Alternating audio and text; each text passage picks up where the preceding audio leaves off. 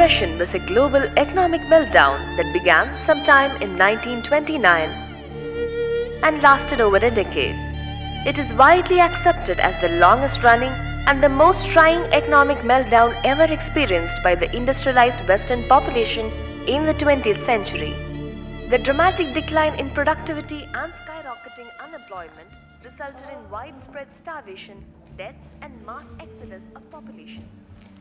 Although the Great Depression had an excess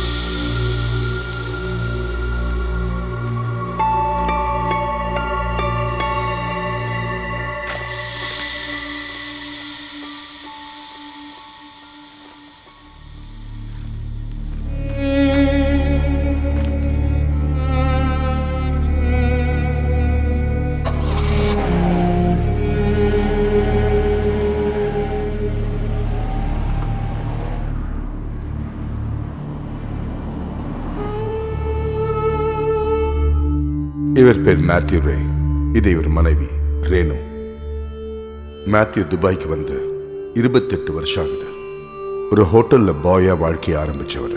தன்னுடைய கடின உழைப்பால இன்னைக்கு மூணு ஸ்டார் ஹோட்டல் ரெண்டு டான்ஸ் பார்க்கு சொந்தக்காரர். இவர் மனைவி ரேணு துபாயில் பிரபலமான பியூட்டிஷியன். சொந்தமா ஒரு மேனேஜ்மெண்ட் கம்பெனியும் பியூட்டி பார்லரும் நடத்திக்கிட்டு இருந்தாங்க.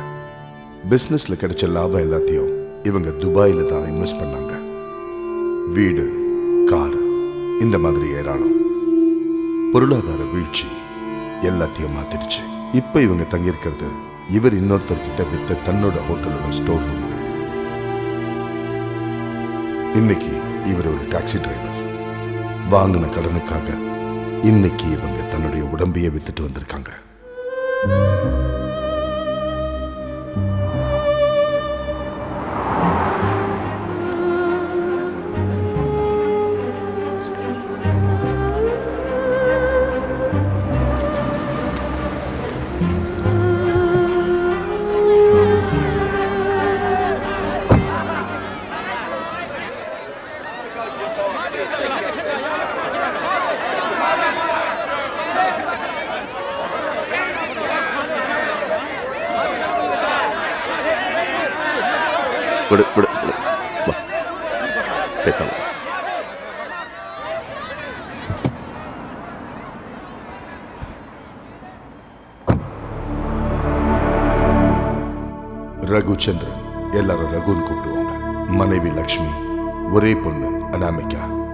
ரகு துபாய்க்கு வந்து முப்பத்தி ரெண்டு வருஷம் ஆகுது. இருநூறு பேர் வேலை செஞ்சுக்கிட்டு இருந்த மூணு அலுமினியம் ஃபேப்ரிகேஷன் யூனிட் பெரிய பெரிய ஆர்டர்ஸ் ஆடம்பரமான வாழ்க்கை வாழ்ந்துகிட்டு இருந்தார். ஆனா பொருளாதார வீழ்ச்சி இவர் வாழ்க்கையை தலைகீழா மாத்திருச்சு.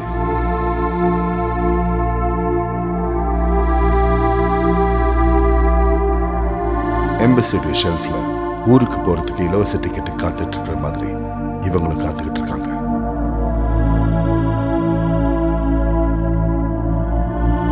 கதையில் இவங்க தான் பிரதானமான கதை.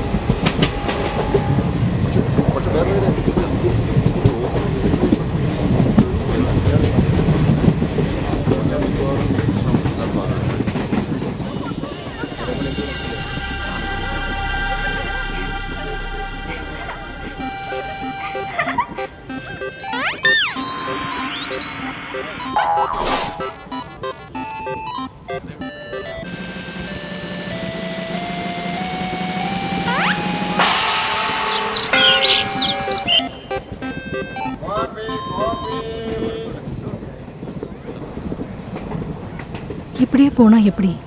உடனே என்னை வந்து பாருங்கன்னு அவங்க கிட்ட சொல்லிட்டேன். வட வட வட வட வட வட.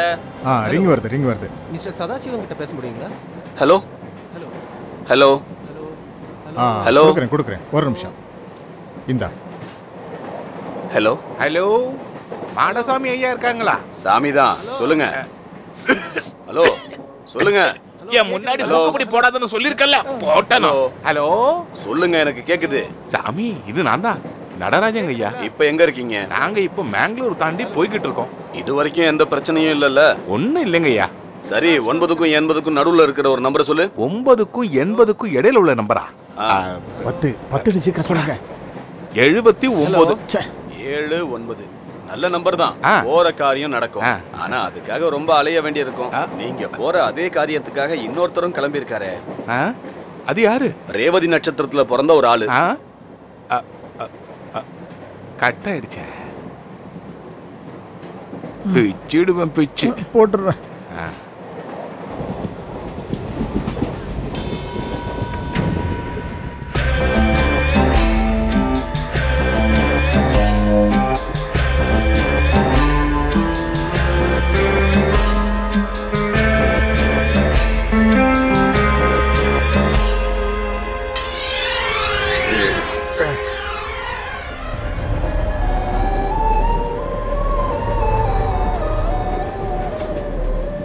ஐயய்ய வட வட வட வட? இத நீ வடன் அப்படின்னு சொன்னா நான் உன்னை அமிதாப் பச்சன் சொல்லுவேன். ஆமீர் கான்னு சொல்லுவேன். இளைய தளபதின்னு சொல்லுவேன். இங்க.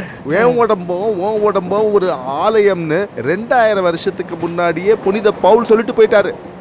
அப்படிப்பட்ட இந்த ஆலயத்தை பரிசுத்தமா பார்த்துக்க வேண்டியது நம்ம ரெண்டு பேருடைய பொறுப்பு. ஆனா நீ விக்கிற இந்த வடைய தின்னன்னு வை. என்னுடைய ஆலயம் கக்குசா மாறி போயிடும். தெய்வம் மூக்க பிடிச்சிட்டு ஓடி போயிடும். இன்னைக்கு நம்மளுடைய உடம்புல கடவுளுடைய ஆசீர்வாதம் இல்லாததுக்கு முக்கியமான காரணம் நம்ம சாப்பிடுற உணவு தான்றது உனக்கு தெரியுமா? டு யூ நோ இட் வட வட வட வட. நீ விடாம வடை. விப்பிய வடைய. வடை, இதானா வடை. கொஞ்சம் சாப்பிட்டு பாருங்க. சார் நீங்க எந்த ஊர்ல இருந்து வரீங்க? திருநெல்வேலி பக்கத்துல. கொலகாரப்பேட்டை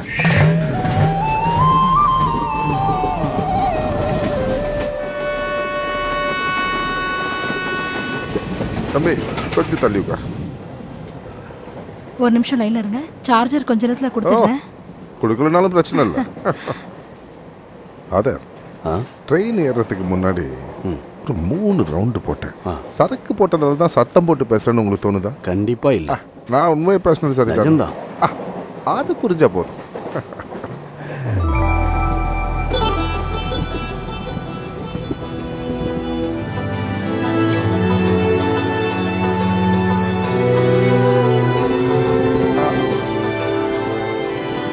અરે સંજીવભાઈ અરે એ તો મસાલા રિપબ્લિક ફિલ્મનો હીરો હોય હોય હોય હોય હોય હોય મયબુર હુકી મયબુર હુકી હા પ્લીઝ કમ પ્લીઝ કમ હા મયબુર હુકી அதர் கொஞ்சம் வழி விடுங்க அஸ்ஸாம்லேருந்து கேரளா போய் ஒரு படம் நடிச்சு பெரிய ஹிட் ஆன ஹீரோ இவர் தெரியுமா எல்லாரும் அவருக்கு ஒரு ஓ போடுவோமே என்ன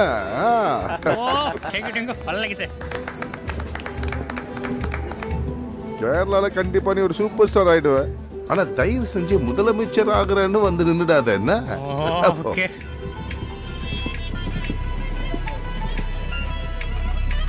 வாழ்க்கையில பெரிய விஷயங்கள்னு எதுவுமே இல்லை டாலி ஆண்டி. சின்ன சின்ன விஷயங்கள் தான் பெருசாகுது. அதை பார்த்து ரசிக்க கத்துக்கணும். மனசை திறந்து பாராட்டணும். அப்பதான் வாழ்க்கை ஆனந்தமா இருக்கும். ம்.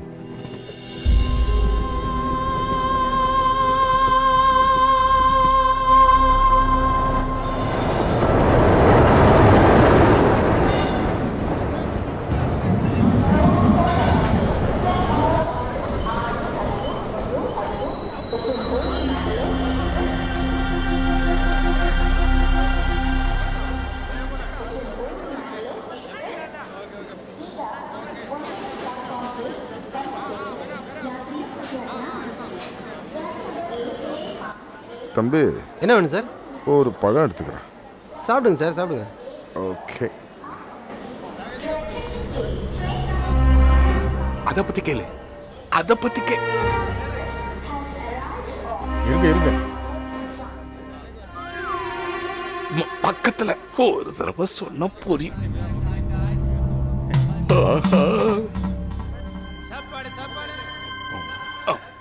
சாப்பாடு சாப்பாடு. சாப்பாடு. சரி வாடா. சாப்பாடு. பழனி மலை முருகா நம்பர் கிடைச்சிருச்சு. எல்லா ரெட்டிங்கிறது தான் அவரோட பேர். சந்திரகிரியிலேருந்து இந்த ஆளு நம்ம கூட தான் வருவான். கரெக்ட் ஸ்பாட்டு இவனுக்கு மட்டும்தான் தெரியுமா? அது மட்டும் இல்லாமல் அவனும் கூட வர்றது நல்லது தானே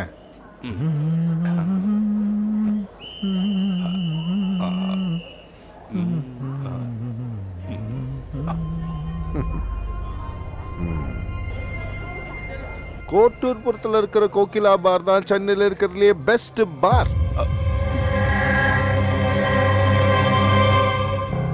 ஃப்ளைட்டில் பிஸ்னஸ் கிளாஸில் மட்டும் போகிற கோகிலா பாருடைய நட்ராஜன் முதலாளி எதுக்காக ஸ்லீப்பர் கிளாஸில் வந்து அதுவும் பாத்ரூம் பக்கத்தில் நிற்கிறீங்கன்னு நான் கேட்க போகிறதில்ல எங்கே போகிறீங்க எதுக்காக போகிறீங்க எதுவும் கேட்க போகிறதில்ல எல்லாம் எனக்கு தெரியும். இந்தாங்க இதை பிடிச்சிக்கோங்க.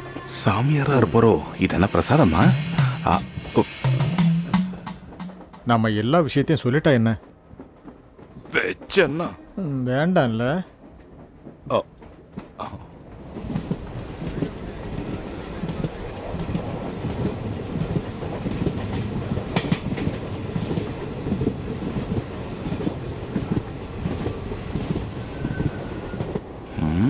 என்னவா இருக்கும்? புரியலையே. நிம்மதியாக மூக்கு பொடி போட்டு எவ்வளவு நேரம் ஆச்சு? ஏத்து ஏத்து நல்லா ஏத்து. யோ போயா. இந்த தடவையும் போச்சா? எங்க தானே இருந்தா எங்க போனா? பழம் சாப்பிட்டார்ல. ஒருவேளை பாத்ரூம் போயிருப்பாரோ?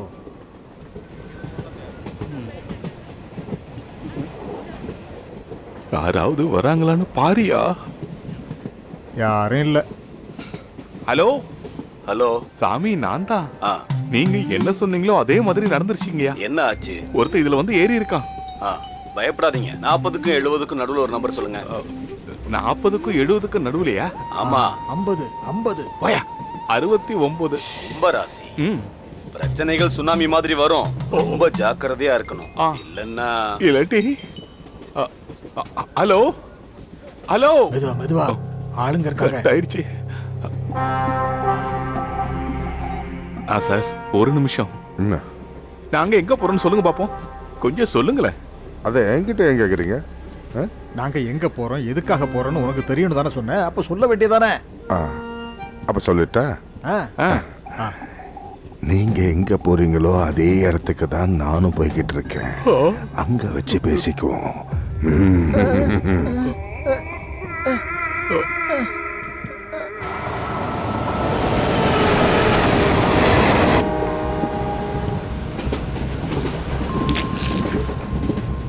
மொத்தம் எனக்கு இருந்த பதினாறு பாரை மூடிட்டானுங்க.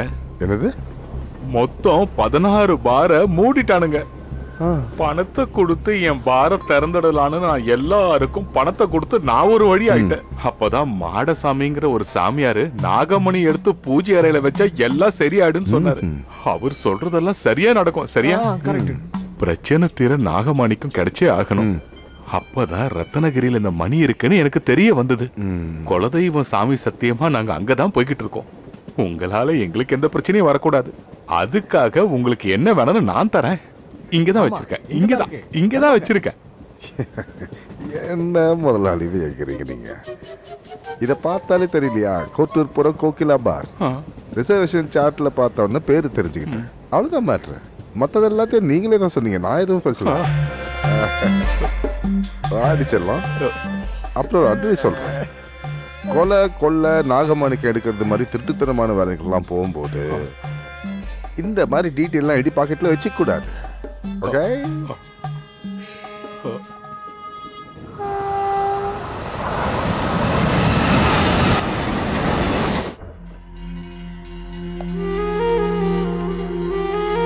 எத்தனை தடவை கூப்பிட்டேன் தெரியுமா?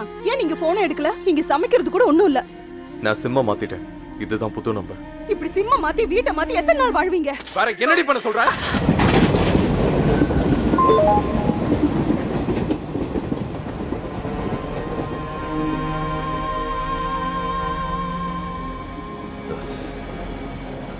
நம்ம இதுக்கு முன்னாடி எங்கேயோ பார்த்துருக்கோம்ல. காலையில இருந்து நாம இந்த ட்ரெயின்ல தான் இருக்கோம். பாத்துக்கலாம் ஆ எக்ஸாக்ட்லி அதான் அதான் எங்கேயோ ஒவ்வொருத்தருடைய வாழ்க்கையும் ஒரு காடு மாதிரி தான் உள்ளே என்ன இருக்குன்னு யாருக்குமே தெரியாது. இந்த கம்பார்ட்மெண்ட்டில் நம்ம கூட வர பயணிகளை யோசிச்சு பார்க்கலாம். சிரித்து பேசிக்கிட்டு இது வரைக்கும் ஒரு பகல் கழிஞ்சிருச்சு. ஆனால் அவங்களுக்குள்ளே என்ன பிரச்சனை இருக்கும்? ஆண்ட்ரூஸ் டோலியான் டி அவங்க ரெண்டு பசங்க. மூத்தவன் ஹார்ட் பேஷண்ட் ட்ரீட்மெண்ட்டுக்காக போயிட்டுருக்காங்க இப்போவும் ஃபோனில் அழுதுகிட்டே பேசுகிற வீட்டுக்காரர் மேலே வழக்கு போட்டிருக்கிற சூசம்மா. பாம்பேயில் நேர்ஸாக இருக்காங்க. இப்போ கேன்சர் பேஷண்ட் புருஷக்கிட்டேருந்து சொத்தை வாங்கி ஆகணும். ஏன்னா ரெண்டு பொம்பளை பசங்க. நீரஜ் அமலா. பழக்கமே இல்லாத மாதிரி காட்டிக்கிற ரெண்டு பேர். அவங்க பழக்கத்துக்கும் காதலுக்கும் வாட்ஸ்அப்புடைய துணை இருக்கின்ற தைரியம். நாகமாணிக்கத்தை தேடி கிருஷ்ணகிரியை சேர்ந்த நடராஜனும் சந்திரமோகனும் தான் நடித்த முதல் படத்தை அம்மாவுக்கு காட்டணும்னு அசாமுக்கு போயிட்டு இருக்கிற மங்கள். அப்புறம் கூடங்குளத்தில் போராடிக்கிட்டு இருக்கிற மக்களுக்கு ஆதரவாக வழக்கு போடுறதுக்காக மும்பைக்கு போய்கிட்டு இருக்கிற இடிந்த கதை லூர்து மாதா கோவில் பாதிரியார் ஃபாதர் இயேசுராஜன். இவங்களுக்கு எந்த சம்பந்தம் இல்லாத நம்ம ரெண்டு பேர். நீங்கள் அசாமுக்கு போயிருக்கீங்களா? நான் சின்ன வயசில் அங்கே இருந்திருக்கேன். ஒய்ஃப் அந்த ஊர் தான் கல்யாணத்துக்கு அப்புறம் ஒரு தடவை நான் அங்கே போயிருக்கேன். ரெண்டு மாதம் அங்கே இருந்தேன். வாட் அ பியூட்டிஃபுல் லேண்ட் அங்கே தான் பூபன் ஹசாரிக்காவை நான் லவ் பண்ண ஆரம்பித்தேன் you know I'm an animated by profession பூபனோட ரெண்டு பாட்டுகளுக்கு நான் அனிமேஷன் பண்ணியிருக்கேன். বিস্তীর্ণ পাররে অসংখ্য জনরে হাহাকার சோட்டு இன்னைக்கு ட்ரெயினில் ஒருத்தனை பார்த்தேன் சந்தேகப்படும்படியான பேர் வழி எனக்கு நல்லா தெரியுது இவனை நான் இதுக்கு முன்னாடி எங்கேயோ பார்த்துருக்கேன் எங்க বিস্তীর্ণ পাররে অসংখ্য জনরে হাহাকার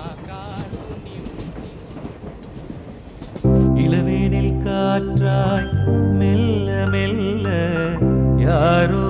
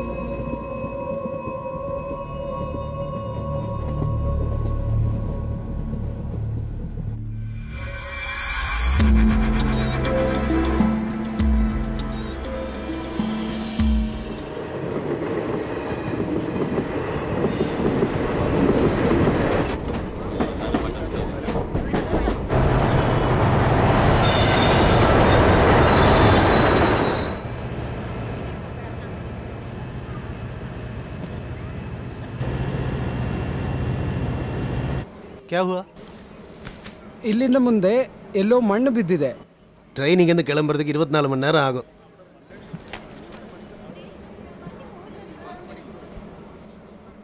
Anantharaman CEO and chief editor Prabhas channel I right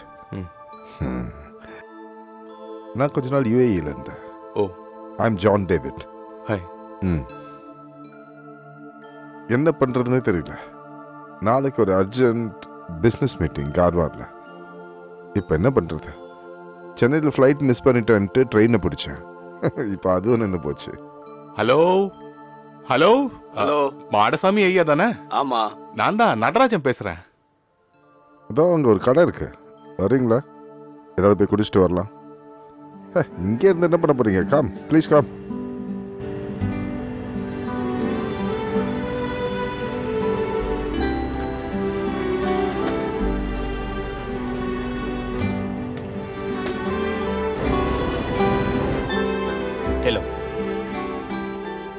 தோ ஜூஸ் दो जूस ஆ ठीक है நீங்கள் எங்கே போகிறீங்க கார்வார் வர டிக்கெட் எடுத்திருக்கேன் நாளைக்கு இந்த ட்ரெயின் கிளம்புனா கூட இது கார்வாருக்கு போகாது இது மேங்களூர் போய் வேற ரூட்ல போகுதான் ரயில்வே ஹெல்ப்லைன்லன்னு சொன்னாங்க ஏக் ஜூஸ் ये कारवार जाएगा कैसा भाई रूट कार बस तो नहीं मिलने वाला है यहाँ से आपको अ, लोरी मिलेगा यहाँ से लोरी पकड़ के एक बीस किलोमीटर जाएगा तो वहाँ एक छोटा सा टाउन आएगा वहाँ से और एक गाड़ी पकड़ के अ, और बीस किलोमीटर जाएगा तो कारवार हाईवे आएगा இங்கே வெயிட் பண்ணுறதை விட லாரி பிடிச்சி போயிடலாமா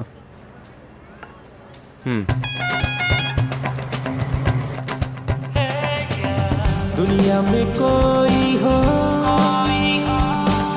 दुनिया में कोई हो दिल मेरा ले जाए कहीं कहीं रे तन मेरा ले जाए மேரிடா லவ் மேரேஜ் ம். ம் நானும் அதே தான் லவ் இந்த டைம் ஆஃப் காலரா மார்க்கஸோட புக்கை படிச்சிருக்கீங்களா? அந்த மாதிரி காதல் தான் எங்களுது ஹம். மனசு சந்தோஷமா இருக்கும் போதெல்லாம் அவன் முன்னாடி போய் நிற்கும்போது அவ என்னை அம்பிகாபதின்னு கூப்பிடுவா.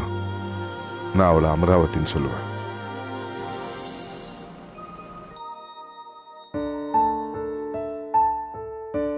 அஸ்ஸாமில் இருக்கிற ஒரு ஆர்ஃபனேஜில் தமிழ்நாட்டை சேர்ந்த ஒரு ஃபாதரோட வளர்ப்பு பையன்தான் நான் ஒவ்வொரு வாரமும் தவறாம அழகான ஒரு ட்ரெஸ்ஸை போட்டுக்கிட்டு அந்த குட்டி தேவதை அங்க வருவா. ஒரு செகண்ட் கூட யோசிக்கல. அவளை பார்த்த அந்த முதல் செகண்ட்ல இருந்து அவளை காதலிச்சேன் என் காதலை பல வழிகளில் அவட்ட சொல்லி பார்த்தேன். ஆனா அவ ஏத்துக்கவே இல்லை. பத்தாவது எக்ஸாம் முடிஞ்சதும் என் குட்டி தேவதையும் அவள் குடும்பமும் அசாமை விட்டு நிரந்தரமாக அவங்க ஊருக்கு போயிட்டாங்க. அன்னைக்கு நான் உடஞ்சி போய் என்னை விட்டு போய்கிட்டே இருந்த அந்த ட்ரெயினை பார்த்துக்கிட்டே இருந்தேன். அப்புறம் ஓவியம் கற்றுக்க ஆரம்பித்தேன் பல நகரங்களில் என் வாழ்க்கை பயணிச்சது.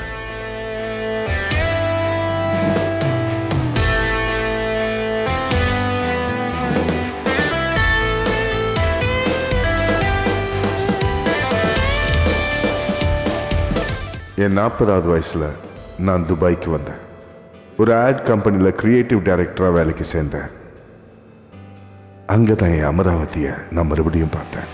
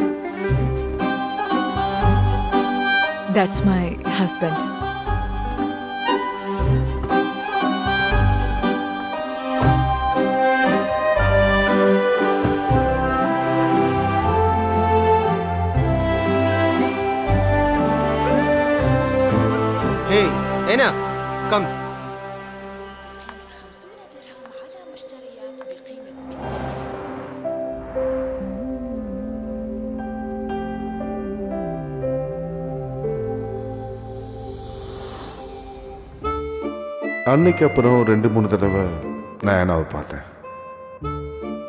அன்னைக்கும் காரில் அவள் ஹஸ்பண்ட் முன்னாடியும் அவ பின்னாடியும் உட்காந்துருந்தாங்க எல்லாம் தெரிஞ்சவனுக்கு எதுவும் கிடைக்காதுன்னு சொல்லுவாங்க அது உண்மைதான் போல. அங்கே தான் நான் ஜோசப் சார் அதாவது என் தேவதையுடைய அப்பாவை அன்னைக்கு நான் மறுபடியும் பார்த்தேன். என்னை நானே அறிமுகப்படுத்திக்கிட்டேன். அதுக்கப்புறம் நானும் அங்கிளும் பெஸ்ட் ஃப்ரெண்ட்ஸ் ஆயிட்டோம். டைம் கிடைக்கும் போதெல்லாம் நான் அவருடைய வீட்டுக்கு போவேன். அந்த சாக்கிலையாவது அவளை பார்க்கலாம்ல. ஏமா நீ நாளைக்கு காலையில போலாமே? இல்லப்பா நான் கிளம்புறேன். ஜோ வெயிட் பண்ணிட்டு இருக்கான். போயிட்டு வரேன். சரி. எதிர்பார்க்காம ஒரு சம்பவம் நடந்துச்சு. என் கண்ணை பட்டுச்சோ நினைச்சேன். அன்னிலிருந்து மூணாவது மாசம் ஒரு கார் ஆக்சிடென்ட்ல அவ ஹஸ்பண்ட் இறந்துட்டார். அவளுக்கு நல்ல டைம் போல. அப்புறம் தான் புரிஞ்சுது. அவன் ஏன் காரில் பின்னாடியே உட்காந்தான்னு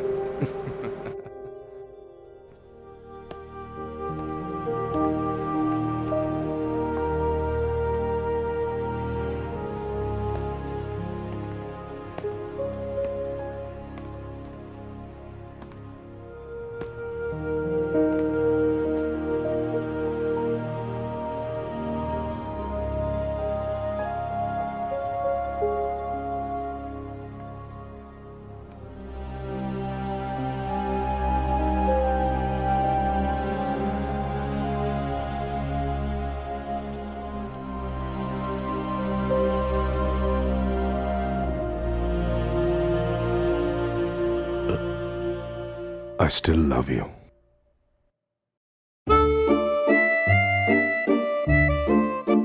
உண்மையை சொல்லணும்னா டைம் மிஷின்ல ஏறி இருபது வருஷம் பின்னாடி போன மாதிரி ஆயிடுச்சு மறுபடியும் என் மனசுல பட்டாம்பூச்சி பறந்தது அவளை பார்த்துக்கிட்டே இருக்கணும் போல தோணுச்சு அதனால ராத்திரியும் பகலும் அவ பின்னாடியே சுத்தினேன் Acting on an object is called false. A push or a pull on an active object is called false. Miss Anna Joseph, please report at principal's room immediately. Okay, I'll be right back. So இந்த animation ஃபில்மோட கேரக்டர்ஸ்லாம் ஸ்கூல்ல இருந்தா select பண்ணலான்னு இருக்கேன். Students and teachers அது அவங்களுக்கு ஒரு எதிர்பார்ப்பை கொடுக்கும். அவங்களுடைய ஃப்ரெண்ட்ஸ் அவங்களுடைய டீச்சர்ஸ் கார்ட்டூன் கேரக்டர்ஸாக மாற போறாங்க. இட்ஸ் so ஃபனி இல்ல?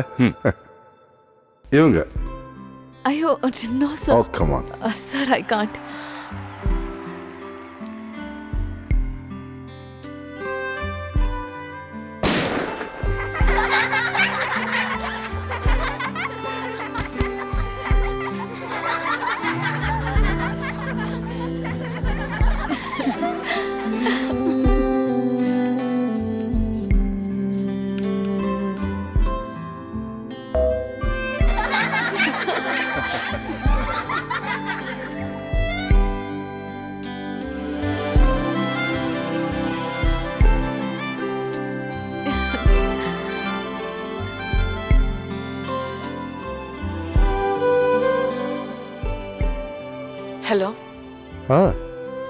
நாளைக்கு ஜார்ஜோட நினைவு நாள் ரெண்டாவது வருஷம். ப்ளீஸ் கம் ஓகே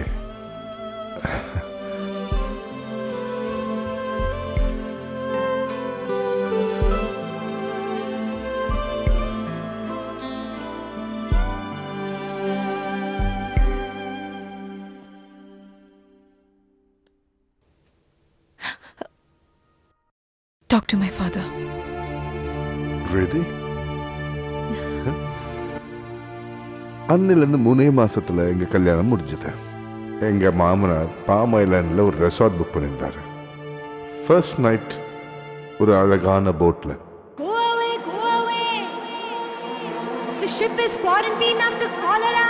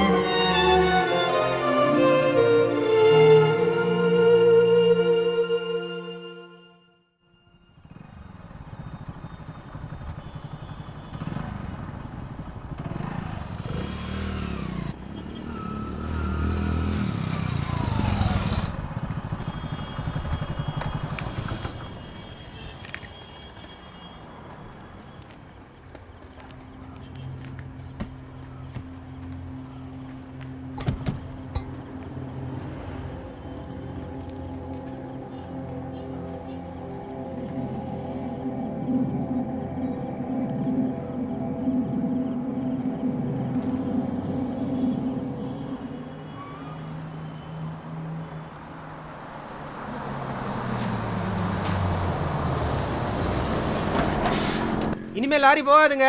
இறங்க இறங்க. கார்வார் போறதுக்கு வேற ஏதாவது வண்டி கிடைக்குமா? இப்போ எதுவும் கிடைக்காது. எதா இருந்தாலும் காலையில தான்.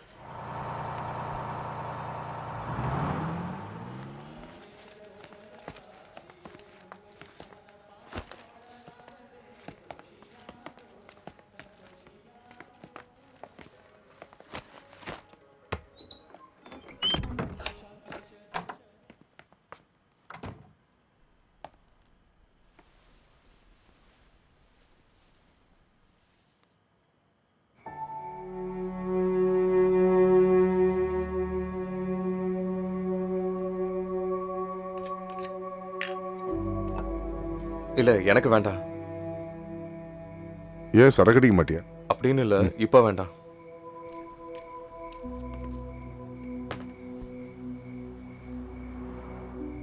நீ ஏதோ ப்ராப்ளம்ல இருக்கேன்னு நினைக்கிறேன். என்னாச்சு? சும்மா சொல்லு. எந்த ப்ராப்ளமா இருந்தாலும் அதை சால்வ் பண்றதுக்கான மந்திரம் என்கிட்ட இருக்கு. முக்கியமா லவ் மேரேஜ் பண்ணவங்களுக்கு. எதா இருந்தாலும் சொல்லு. உண்மையான காதல் என்னங்கிறத தெரிஞ்சுக்கிற வழி என்னங்கிறத பத்தி ஓஷோ ரஜ்னீஷ் சொல்லியிருக்காரு. உங்களோட காதலில் துக்கம் இருக்கான்னு பார்க்கணும். அப்படி இருந்தால் அது காதலே இல்லை. காதலுங்கிறது ஆனந்தமானது. உடலும் உள்ளமும் நிறைகிற ஆனந்தம். அங்கே எப்படி துக்கம் வரும்? லீவ் இட் யார் சங்கடங்களை தூக்கி குப்பையில் போடு.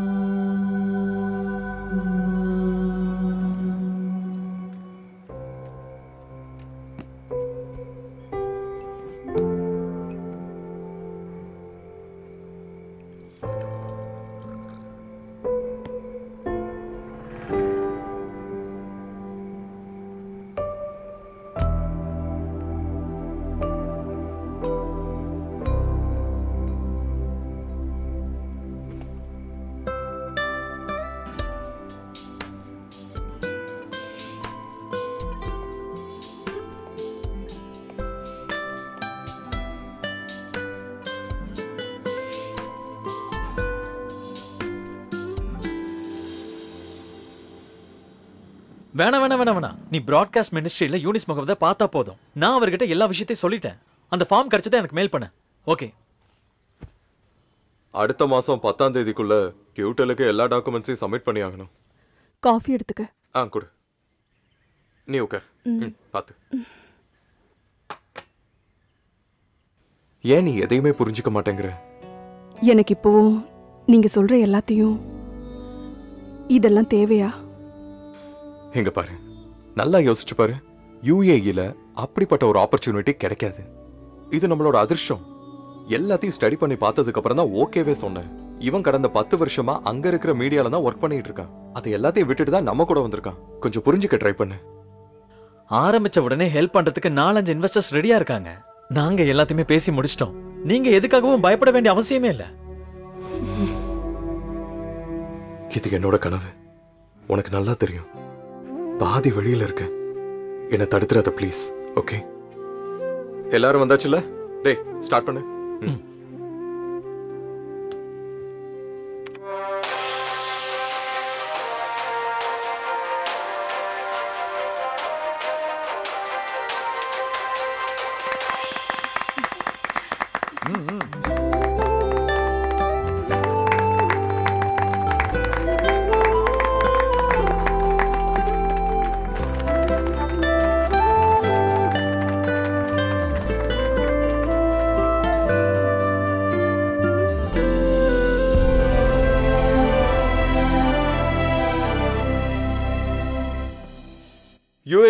இருக்கிற மிகப்பெரிய தொழிலதிபரான மிஸ்டர் ஷெபின் முகமது தான் இன்னைக்கு நிகழ்ச்சியில சந்திக்க போறோம். வணக்கம் சார். வணக்கம்.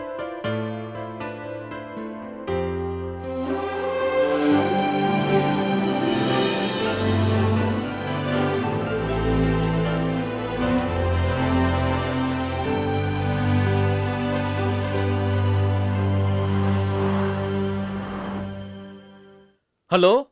ஆ அங்கிள் சொல்லுங்க. என்னப்பா? உங்க சேனல் கலக்கு கலக்குன்னு கலக்குது? அப்படிலாம் ஒண்ணும் இல்ல இப்படியே போச்சுன்னா எல்லா சேனலும் உங்க முன்னாடி காணாம போயிடுவானுங்க. அப்படி நடந்தா ஓகே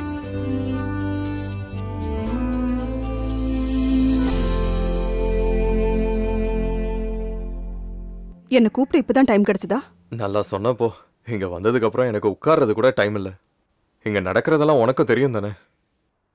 குட்டி தூங்கிட்டாளா? போன் அவகிட்ட கொடு. அவ தூங்கிட்டாங்க. நீ கொஞ்சம் எழுப்ப.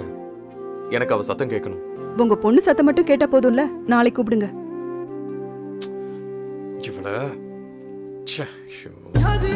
பொருளாதார வீழ்ச்சி காரணமாக பெரிய அளவில் வேலை இழப்பு ஏற்படும் என்றும் இதன் காரணமாக இந்தியாவை சேர்ந்த தொழிலாளர்களின் வாழ்க்கை கேள்விக்குறியாகும் என்றும் மையம் ஏற்படுகிறது.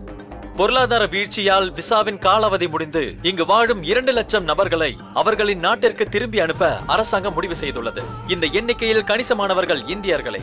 இப்படி வேலையை இழந்த தொழிலாளர்கள் தன் நாட்டிற்கு சென்று என்ன செய்ய போகிறோம் என்று தவித்துக் கொண்டிருக்கின்றனர். பொருளாதார வீழ்ச்சி இங்கு வாழும் இந்தியர்களுக்கு பெரிதும் பாதிப்பு ஏற்படுத்தியுள்ளதா? இதை பற்றி ஒரு விவாதம் இன்று நமது தொலைக்காட்சியில் நடக்க உள்ளது பொருளாதார வீழ்ச்சியின் காரணமாக நூற்றுக்கணக்கான விசாக்கள் ரத்து செய்யப்பட்டுள்ளதாக இந்தியாவில் உள்ள ஒரு பிரபலமான ரெக்ரூட்மெண்ட் ஏஜென்சி இதனை கூறியுள்ளது. கட்டுமான தொழிலில் அதுவும் குறிப்பாக யுஏஇயில் கிட்டத்தட்ட ஐநூத்தி எண்பத்தி ரெண்டு லட்சம் டாலர் ப்ராஜெக்டுகள் நிறுத்தி வைக்கப்பட்டுள்ளது. இது மீண்டும் எப்பொழுது தொடங்கும் என்பதை பற்றி எந்த தகவலும் கிடைக்கவில்லை.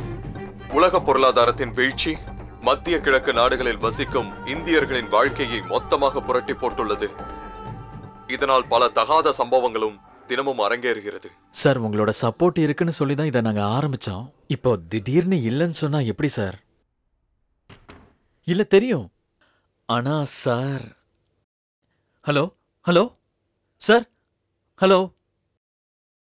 John சாரும் முடியாதுன்ட்டாரு. ரெசஷன் வந்ததுனால மெட்ரோட ஆர்டரும் கேன்சல் ஆயிடுச்சான் பெரிய லாஸ் தான். இனி அஞ்சு பைசா கூட தர முடியாதுன்ட்டாரு. ஒவ்வொருத்தங்களும் இப்படி சொல்ல ஆரம்பிச்சிட்டாங்கன்னா அப்புறம் என்ன பண்றதுனே புரியலடா. ஹலோ ஹாஸ்பிட்டலுக்கு வந்தாச்சு. ஆ வந்துட்டியா? அனந்து கையில ஒரு ரூபா கூட இல்ல. இந்த மாதிரி நேரத்துல அப்பா கிட்ட போய் எப்படி கேட்க முடியும் சொல்லு? இங்க பாருங்க என்ன நினைச்சா எனக்கே கேவலமா இருக்கு. You told me many times, but this is over. I can't do it anymore. Sir please we are not asking for the waiver Okay, you had many times to solve it, but you didn't do it, so I stopped this for the last time. Please leave the building.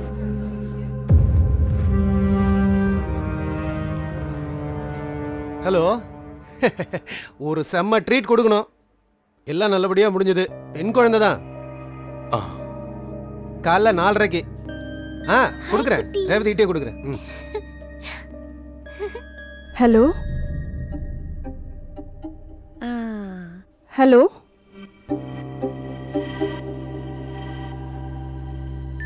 Hello? நான் hello? ராத்திரி ரொம்ப நேரத்துக்கு அப்புறமா ஃப்ளாட்டுக்கு வந்ததும் ரேவதிக்கு கால் பண்ணேன். அவ phone எடுக்கவே இல்லை. மாமாக்கு ஃபோன் பண்ணி கொடுக்க சொல்லியும் அவ ஃபோன் வாங்கவே இல்லை.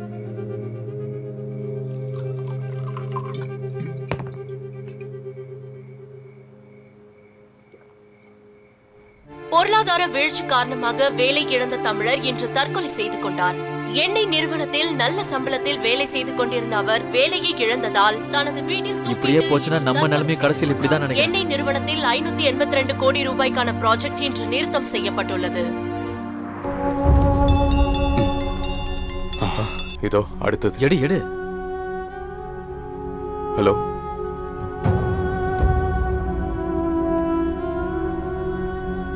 ஓகே I'll ட்ரை என்னாச்சுடா?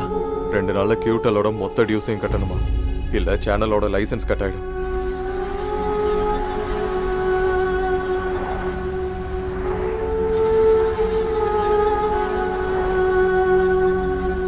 நீ முகமது அலிக்கு ஒரு தடவை ஃபோன் பண்ணி பாரு. அதுல எந்த பிரயோஜனம் இல்லடா. இப்ப இந்த ஊர்ல எவங்கிட்டயுமே பணம் இல்ல. அந்த ஆளோட ரெண்டு யூனிட் லாக் அவுட் ஆயிருச்சு. இனிமே என்னதான்டா பண்றது? ஸ்டாஃப்ஸுக்கும் சம்பளம் கொடுத்து ரெண்டு மாசம் ஆச்சு. கியூட்டல் டியூஸை வேற கட்டணும். மொத்தமா பார்த்தா பெரிய அமௌண்ட்டா வேணும். என்ன பண்றதுனே புரியல. ம்? டேய் இங்க வட்டிக்கு கொடுக்குறவங்க யாரா தெரியுமா உனக்கு? ஆளுங்கெல்லாம் இருக்காங்க. ஆனா வட்டி கட்டியே நம்ம ஆயுசே முடிஞ்சிரும். அதெல்லாம் இனிமேல் பார்த்துக்கிட்டு இருக்க முடியாது. எப்படியும் ஜெயிச்சாகணும்.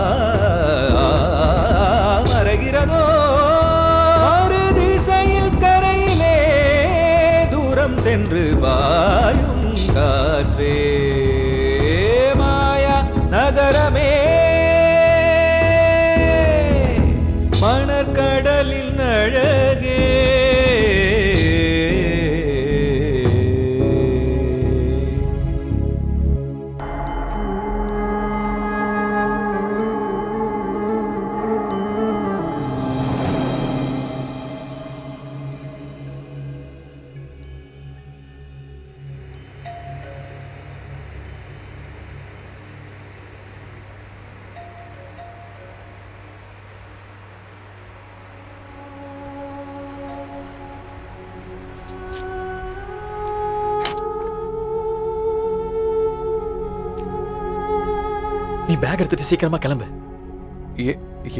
எதுக்குடா? நாளைக்கு உன்னை அரெஸ்ட் பண்ண போறாங்கன்னு எனக்கு ஒரு இன்ஃபர்மேஷன் கிடைச்சிருக்கு. அந்த பேங்க்காரங்க கொடுத்த கம்ப்ளைண்ட் தான்டா. நீ உடனே இந்த இடத்த விட்டு போய் ஆகணும் ஊருக்கு போறதுக்கான டிக்கெட்டை நான் ரெடி பண்றேன். இங்க இருந்தேன்னா பெரிய பிரச்சனையாயிடும்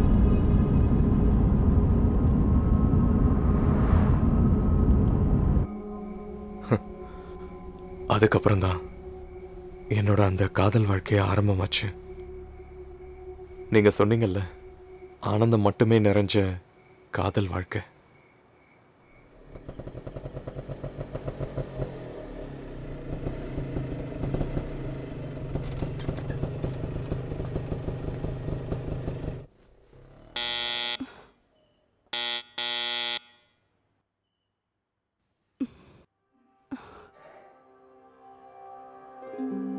என்னங்க இது? திடீர்னு சொல்லாம கொள்ளாம? திடீர்னு வர வேண்டியதாச்சு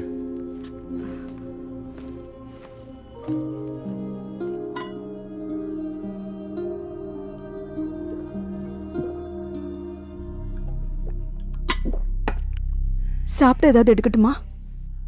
வேண்டாம். டயர்டா இருக்கு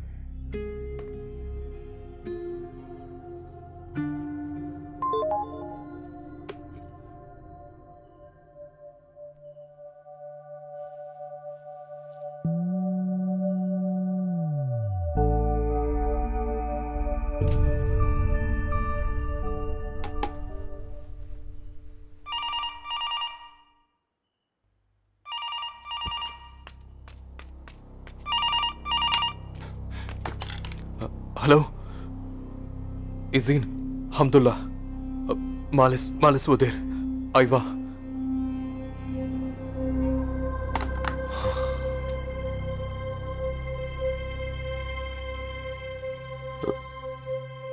யாரை பார்த்து இப்படி பயப்படுறீங்க? என்னதான் பிரச்சனை?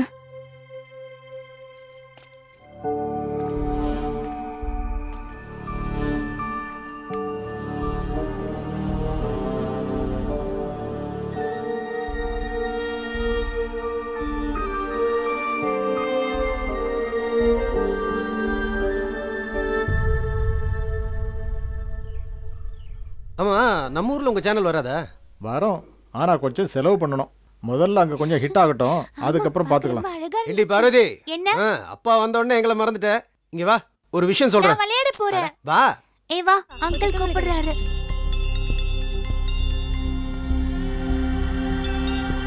ஹலோ இல்ல இல்ல நான் நான் என்ன சொல்றேன்? எனக்கு எனக்கு ஒரு ரெண்டு வாரம் டைம் கொடுங்களேன் ப்ளீஸ்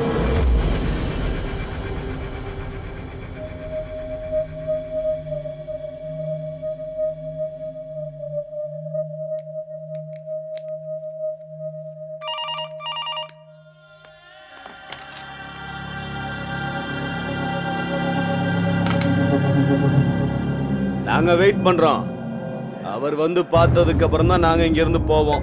டே உள்ளெல்லாம் போவேன் நான் இங்கேயே உட்கார்றா. இதுக்கு மேல தர என்கிட்ட எதுவும் இல்லை. பணத்துக்காக இந்த வீட்டுக்கு யாரும் வரக்கூடாது.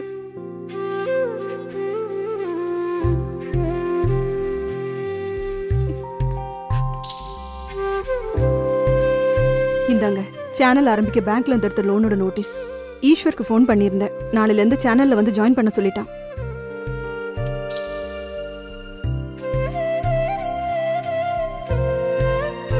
சாப்பிடு.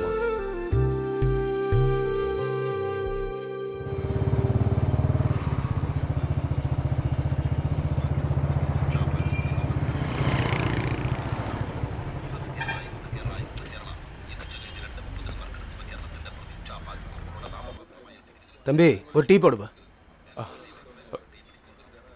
டேய் கொஞ்ச நாளைக்கு நீ அந்த வீட்டில் இருக்க வேண்டாம் எம்ஜி ரோட்டில் என் ஃப்ரெண்டோட ஒரு ஃப்ளாட் இருக்குது நீங்கள் நாளைக்கே அங்கே ஷிஃப்ட் ஆகிடுங்க ரேவதி தான் சேனலில் ஜாயின் பண்ணுறால இந்த ஃப்ளாட்டும் அதுக்கு பக்கத்தில் தான் இருக்குது இந்த பொருளாதார வீழ்ச்சியால் பாதிக்கப்பட்டது இந்த உலகத்தில் நீ மட்டும் இல்லை.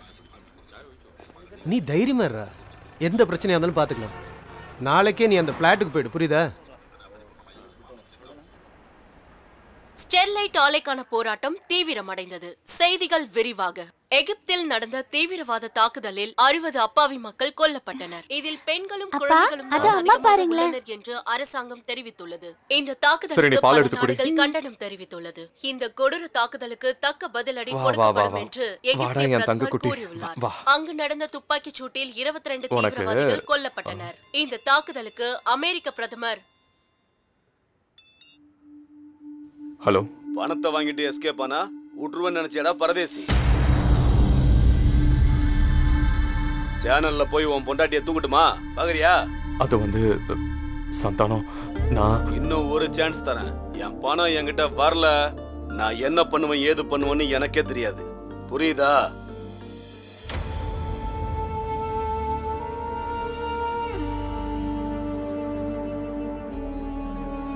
சரி ஓகே. அடுத்த வாரம் பார்க்கலாம். Okay then see you.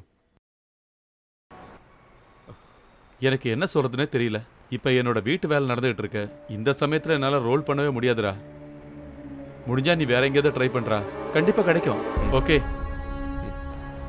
அன்று நமது மனதுக்குள்ளே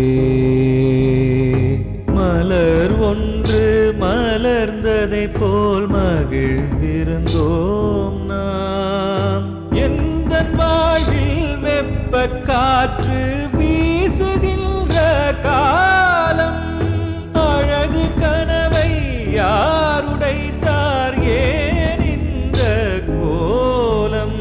விதியின் நாட்டச் சுழியில் சுழலும் சூறை காற்றில் சதிகள் செய்யும் சதிராட்டம்மா எத்தனை தடவை கூப்பிட்டேன் தெரியுமா? ஏன் நீங்க போனை எடுக்கல? இங்க சமைக்கிறது கூட ஒண்ணும் இல்ல. நான் என் சிம்ம மாத்திட்டேன். இதுதான் புது நம்பர் இப்படி சிம்ம மாத்தி வீட்டை மாத்தி எத்தனை நாள் வாழ்வீங்க? அப்புறம் நான் வேற என்னடி பண்றது? அதையும் சொல்லு.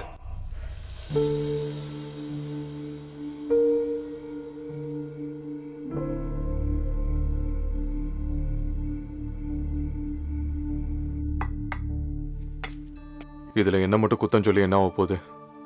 எல்லா நேரம் என் விதி. அந்த ஒரு பேங்க்காரங்க இந்த அளவுக்கு பிரச்சனை பண்ணல. ஒரு தடவை நெகோஷியேட் பண்ணால் கொஞ்சம் டைம் கொடுப்பாங்க. பணத்தை கொஞ்சம் கொஞ்சமாக கட்டிக்கலாம். ஆனால் இங்கே இருக்கிற வட்டிக்காரங்க தான். அவனுங்க பிரச்சனையை முடிச்சுட்டா கொஞ்சம் நிம்மதியாக இருந்து அடுத்த வேலையை பார்க்கலாம். அதுக்கப்புறம் ஏதாவது சேனல்லையாவது ஜாயின் பண்ணி மிச்ச லைஃப்பை ஓட்டிடலாம். அந்த தண்டல் ஆளுங்களுக்கு கொடுக்க வேண்டிய பத்து லட்சம் ரூபாய் அந்த பணத்தை ரெண்டு நாளைக்குள்ள ரெடி பண்ணணும். அதுக்கு அதுக்கு எனக்கு தெரிஞ்ச ஒரே வழிதான் இருக்கு. பசங்களுக்காக என் அப்பா கொடுத்த இடத்த உங்களுக்கு வித்தே ஆகணும்ல? அதான சொல்ல வரீங்க? நடக்காது. நான் உயிரோட இருக்கிற வரைக்கும் அது நடக்காது.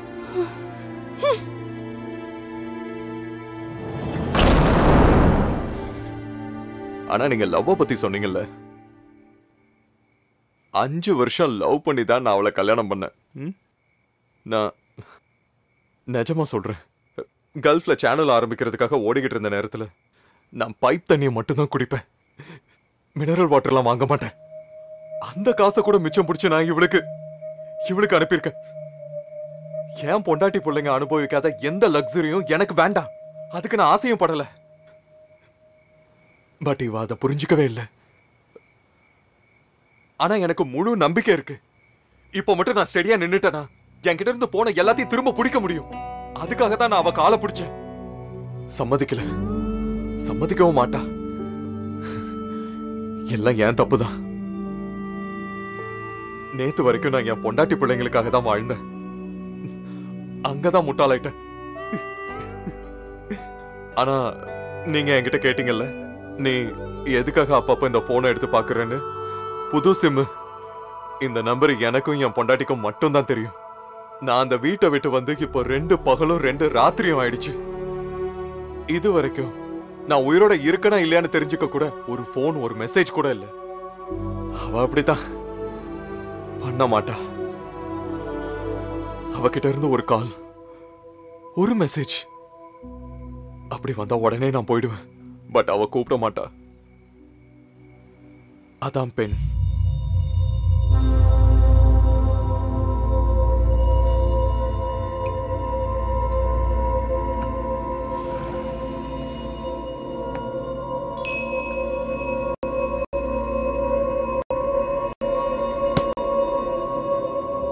இந்த நிமிஷமே உன்னோட பொண்டாட்டிய கொண்டுன்னு தோணுதோ?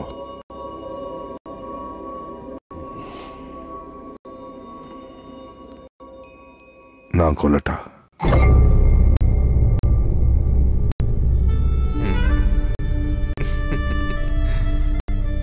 சரக்கடிச்சது நான் போதையானது நீங்க. ஐயோ. அண்ணா போய் தூங்குற வழிய பாருங்க. ஹலோ. ஓ. என்னண்ணே? நாளைக்கு என் கூட வரியா? ஒரு நாளைக்கு அசோசியேட் ஆர்கிடெக்டா நீ என் கூட வேலை செஞ்சினா? உன் கடன்லாம் ஒரே நாள்ல தீக்கிறதுக்கான வாய்ப்பு கிடைக்கலாம்ல. உங்க பணம்லாம் எனக்கு தேவையில்ல. ஆனா நான் வரேன். ஏன்னா உங்களை ரொம்ப பிடிச்சிருக்கனே நீங்க ஒரு good man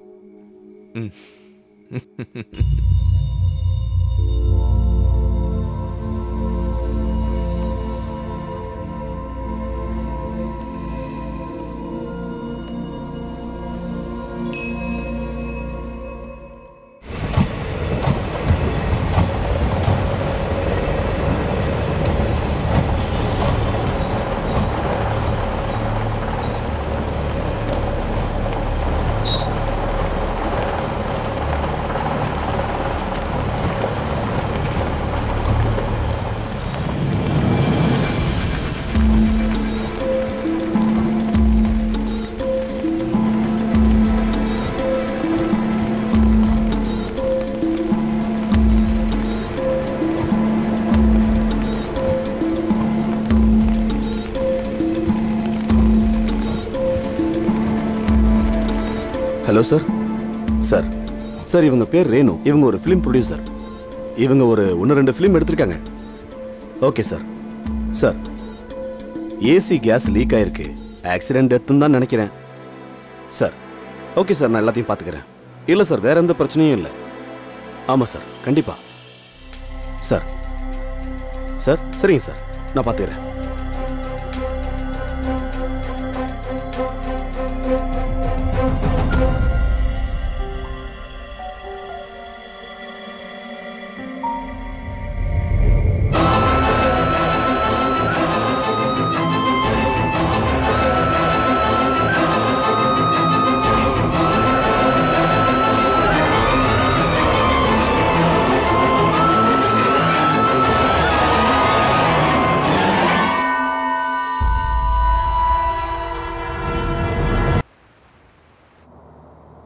அது சரி காலங்காத்தால கார் எங்க இருந்து கிடைச்சது?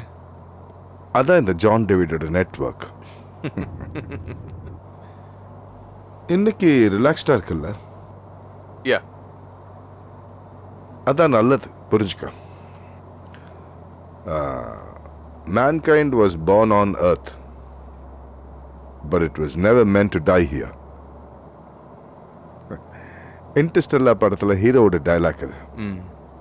இப்போ நான் சொல்றேன்.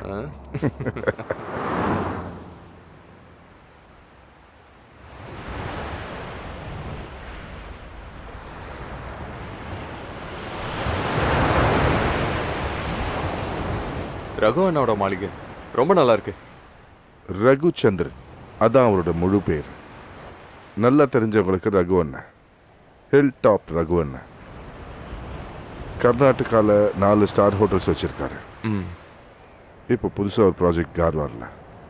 பீச்சுக்கு பக்கத்தில் பத்து ஏக்கரில் ஒரு resort basically I am an animator but architecture is my passion அவரோட பொண்ணு அனாமிகா என்னோட ஃபேஸ்புக் ஃப்ரெண்ட். அவங்க மூலமாக அந்த ப்ரப்போசல் தான் அது. ரெண்டு மூணு ஆன்லைன் டிஸ்கஷன்ஸ் முடிஞ்சிடுச்சு. இது ஃபைனல் சிட்டிங் ஒரு பெரிய ப்ராஜெக்ட்னே சொல்லலாம். கிடைச்சதுன்னா லைஃப்பில் செட்டிலே ஆயிடலாம் என்ன? தேங்க்யூ சார் இனி நீ காரை ஓட்டு நான் கொஞ்சம் ரிலாக்ஸ் பண்ணுறேன் okay come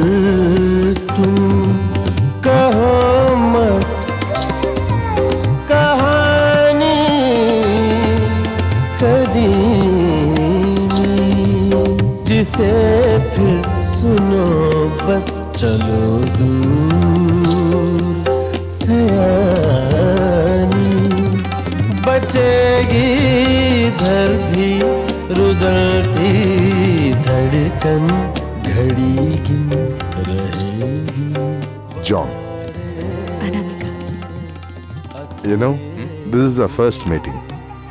ஓ. ஃபேஸ்புக்குன்ற மாய கண்ணடியில் தான் பார்த்துருக்கோம்.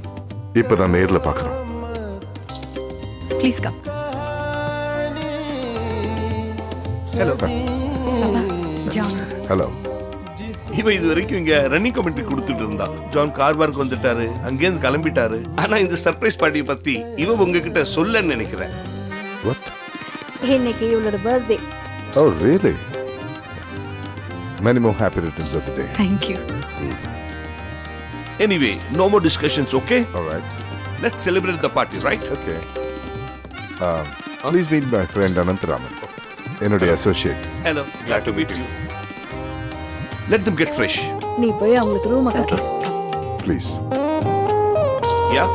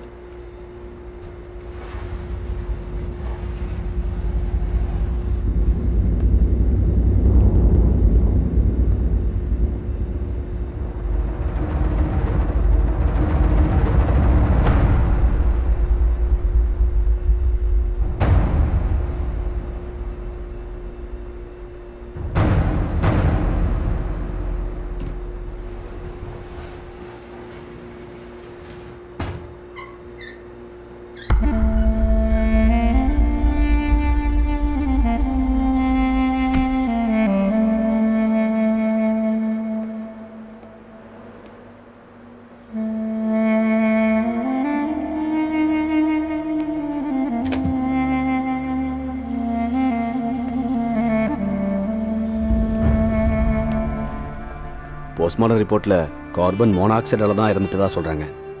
கழுத்துல ஒரு அடையாளம் இருக்கு. அது சீட் பெல்ட்டால கூட ஆயிருக்கலாம். அப்புறம் சாகறதுக்கு முன்னாடி அவங்க நிறைய குடிச்சிருக்காங்க.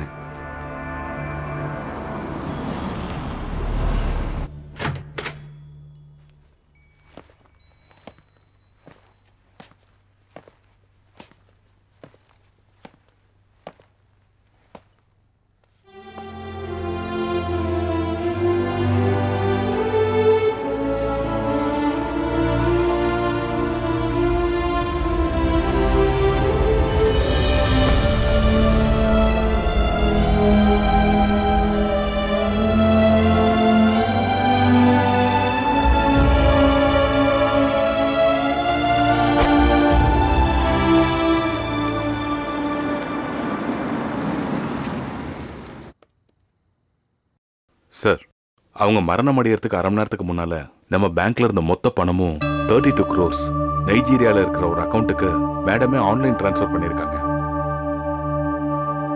சார் இதுதான் அந்த நம்பர் மணி ட்ரான்ஸ்ஃபர் விஷயமா எஸ்பி ஆஃபீஸ்ல இருந்து என்கொயரி பண்ணாங்க. அதை யூஷுவல் டிரான்ஸ்ஃபர் தான் நாங்கள் இன்ஃபார்ம் பண்ணியிருக்கோம்.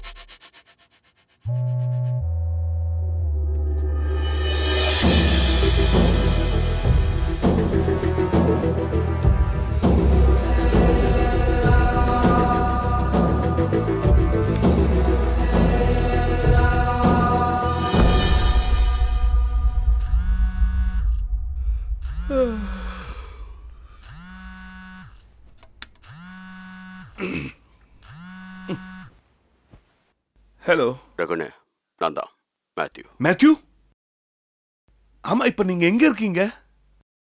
நான் நான் இப்போ கொச்சின்ல இருக்கேன். உங்களை மீட் பண்ணலான்னு உங்க பழைய நம்பருக்கு ரெண்டு மூணு தடவை ஃபோன் பண்ணேன். யாரு? நம்ம மேத்யூ தான். நீங்க ரெண்டு பேரும் இப்ப எங்க இருக்கீங்க? நீங்க எனக்கு ஃபோன் பண்ணி மினிமம் ஒரு ஆறு மாசமாவது ஆயிருக்கும்ல? எனக்கு ஒரு ஃபோன் பண்ண கூடவா தோணல? ஆ ரேணு பக்கத்துல இருக்காளா? நீங்க ஃபோன் அவகிட்ட கொடுங்க.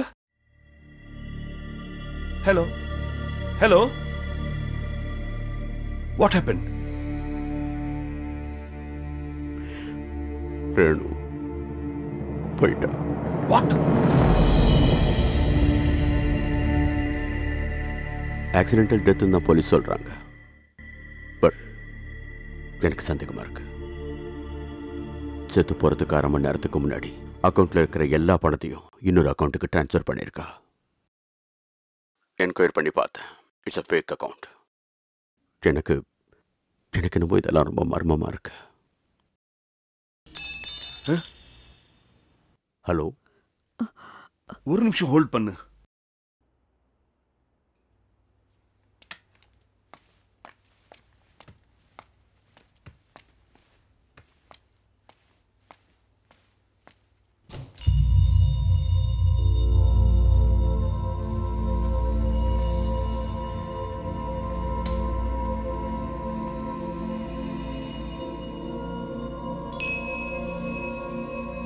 என்னாச்சு ஜான்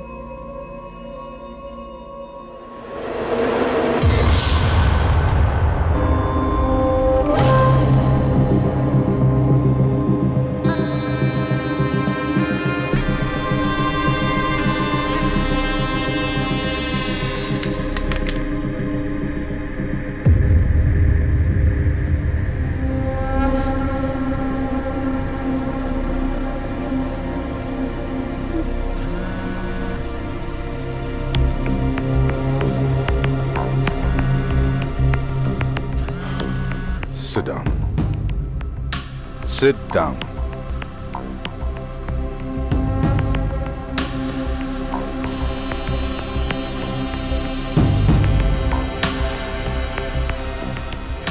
இப்ப நான் யாருன்றது உங்களுக்கு புரிஞ்சிருக்கும்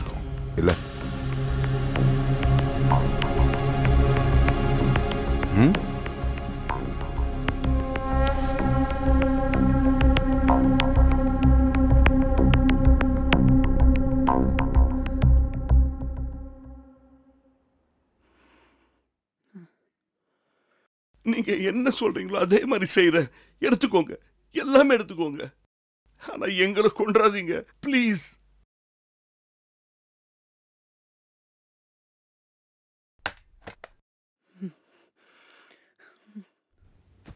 Do you have a gun? Do you have a gun? Do you have a gun? Yes, yes, yes. We have. We have it. doing it.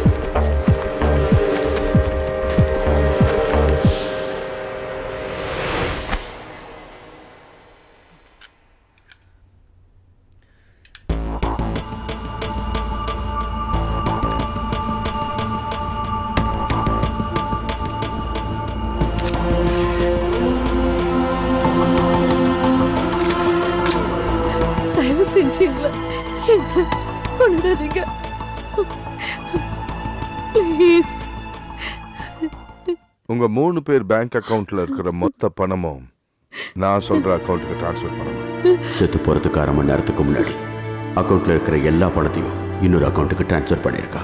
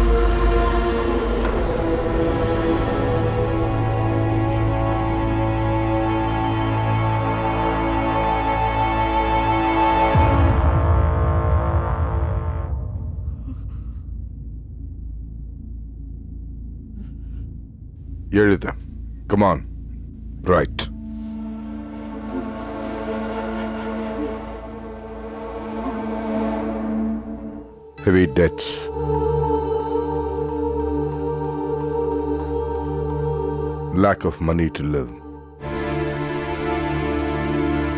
Have forced us to commit suicide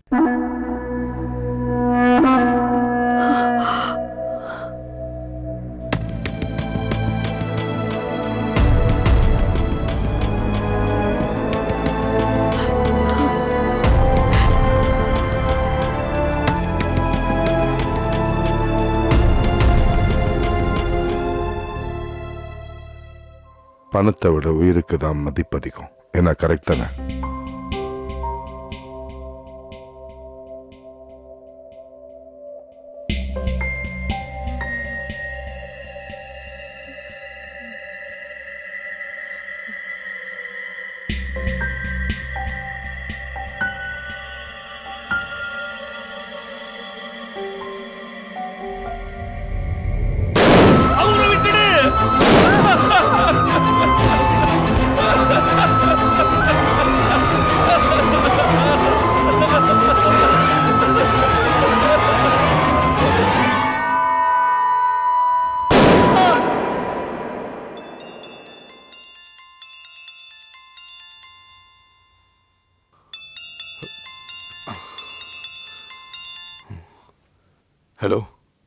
bag எடுத்துக்கிட்டு சீக்கிரம் மேலே வா.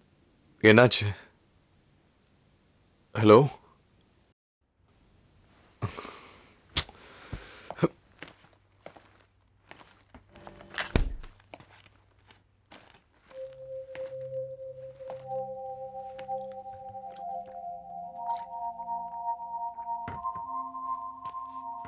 என்னாச்சு?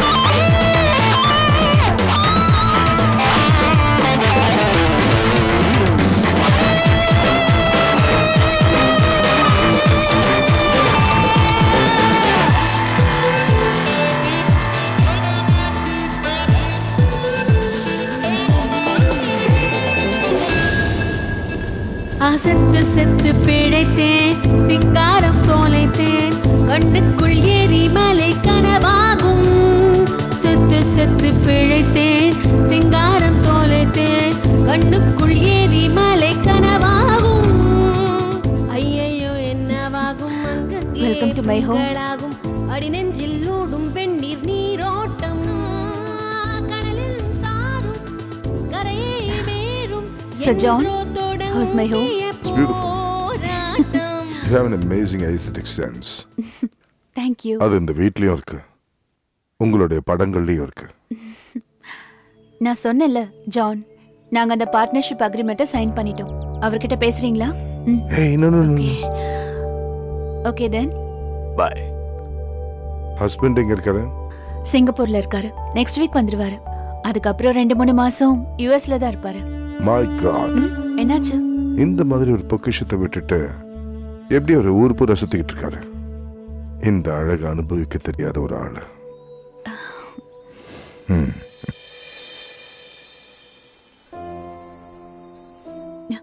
ஓ god it's three o'clock John வாங்க lunch சாப்பிடலாம்.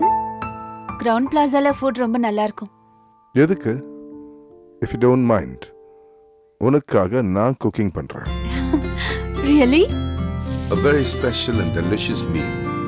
Made for my beloved. as good as you Come on. Uh-huh.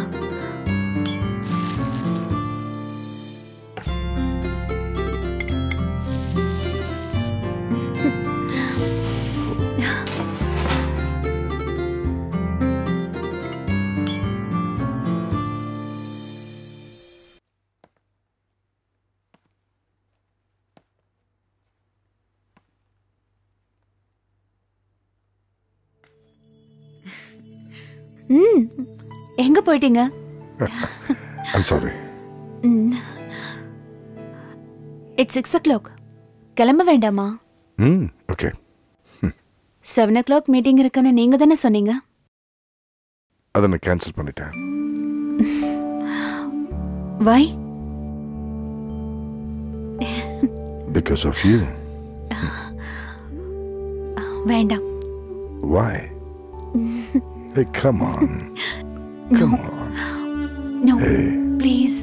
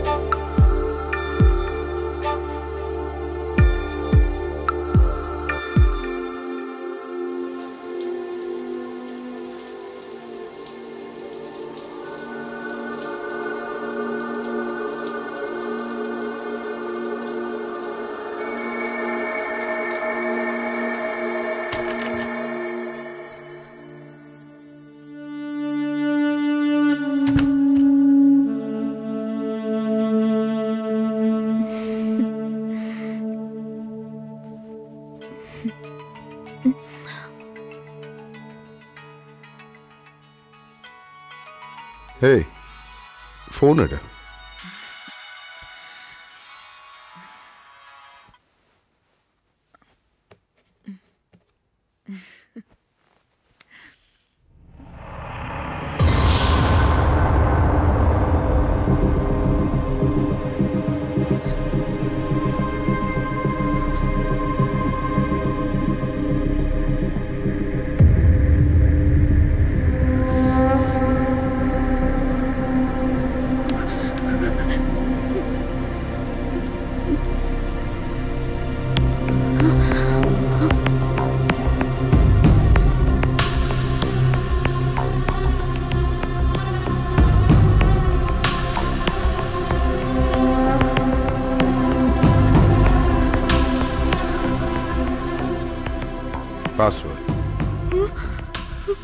password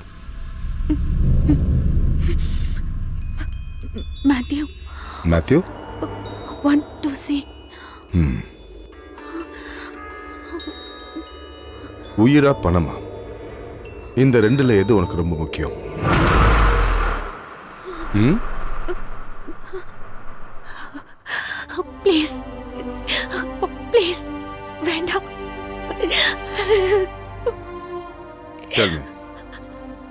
detail விடாம முழுசா உண்மையை சொல்லணும் Tell me the truth.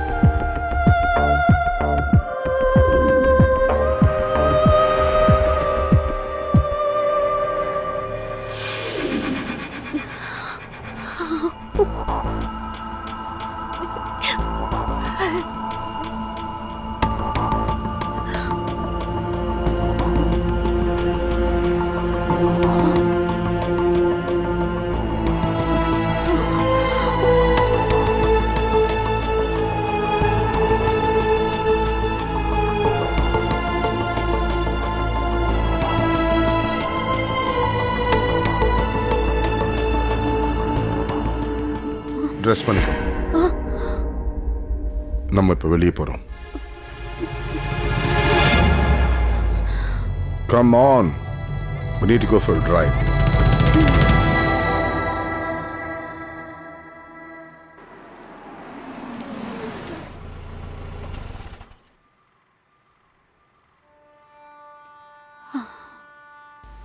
ரொம்ப டென்ஷனாக இருக்க போல இருக்கு.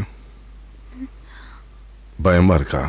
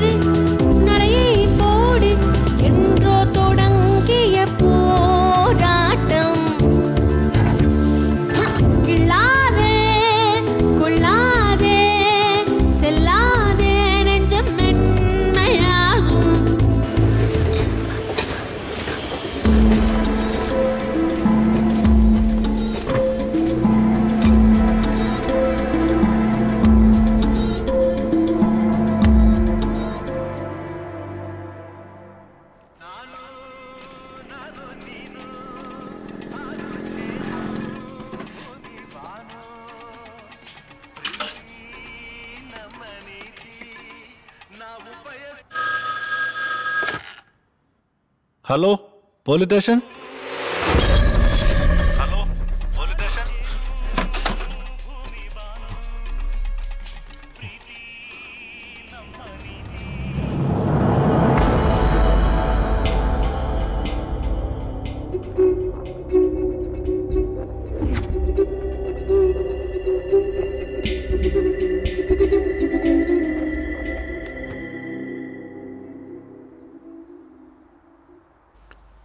ஹலோ ஒரு காஃபி.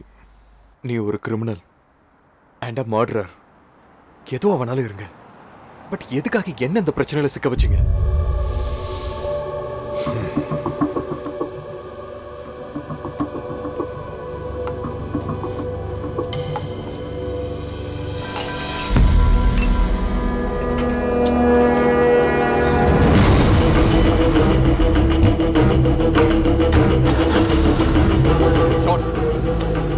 நில்லுங்க.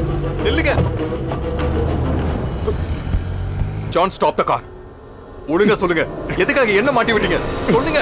John stop the car stop நிறுத்து. நிறுத்துன்னு சொல்றேன்ல.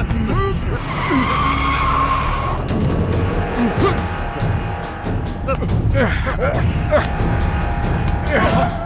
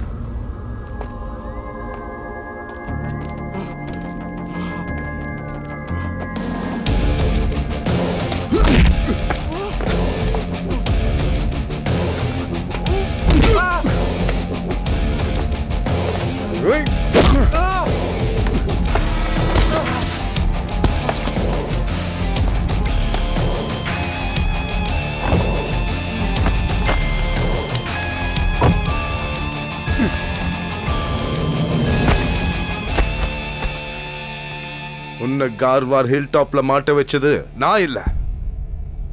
தெய்வம். நீய நான நம்புற தெய்வம். யோசி. யோசிச்சா தெரியும்.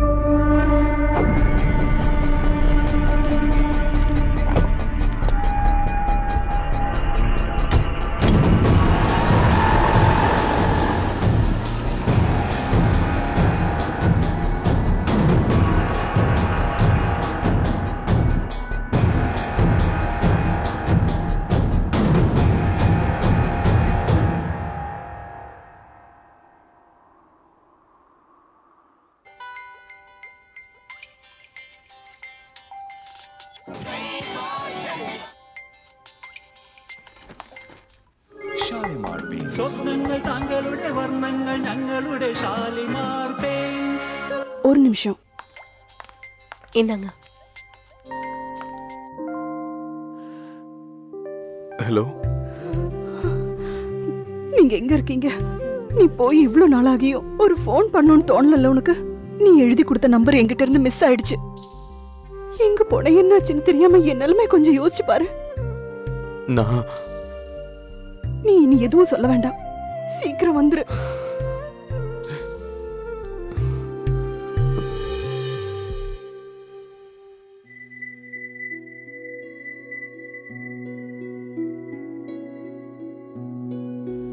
எல்லாத்தையும் நாம வித்துடலாம்.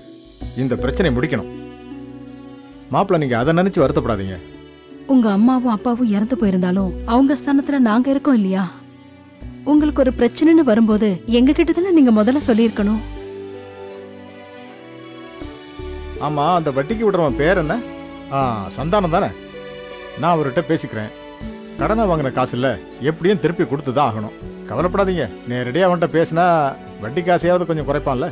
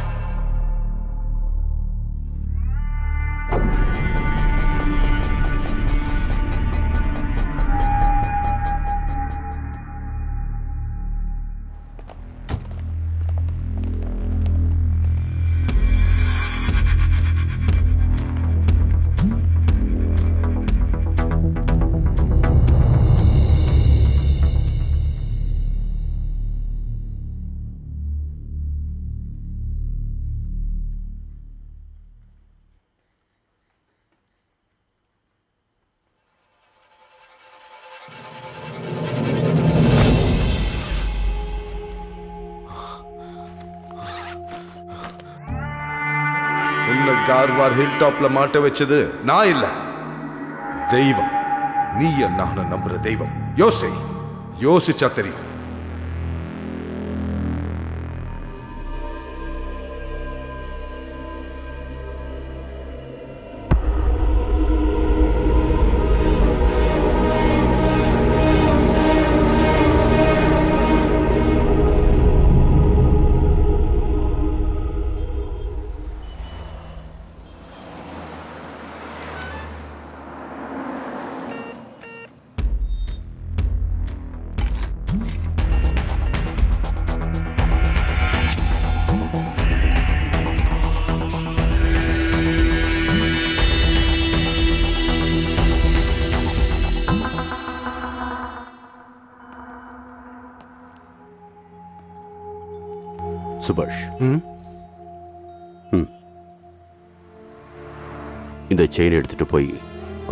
ரெடி பண்ணு. இதை தவிர வேற வழியில சுபாஷ். ம் சீக்கிரம். ம்.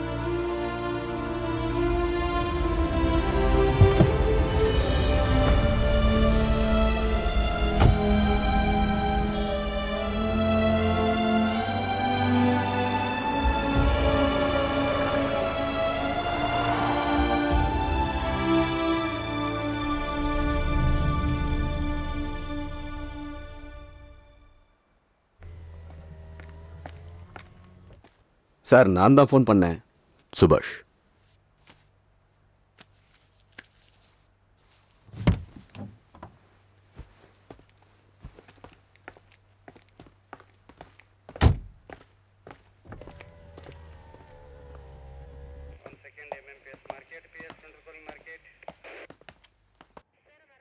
வாங்க சார் உட்காருங்க.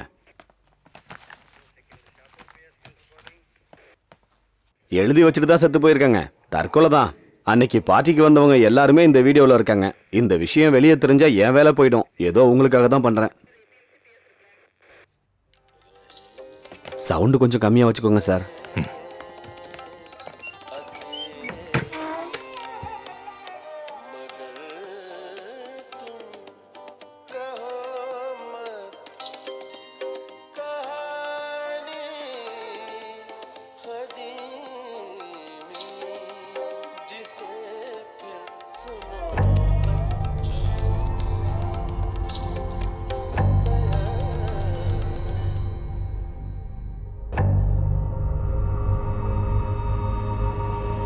சொன்னல ஜான். நாங்க அந்த பார்ட்னர்ஷிப் அக்ரிமெண்ட்டை சைன் பண்ணிட்டோம்.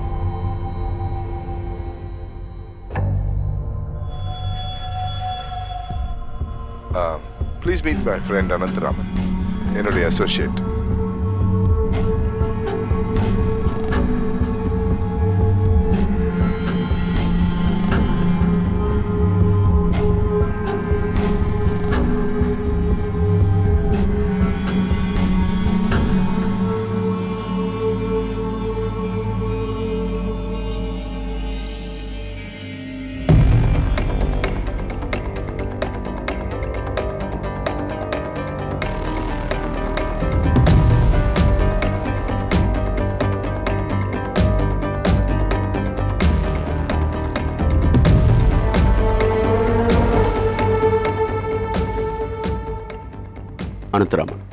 துபாயில் இவன் ஒரு சேனல் நடத்திட்டு இருந்தான்.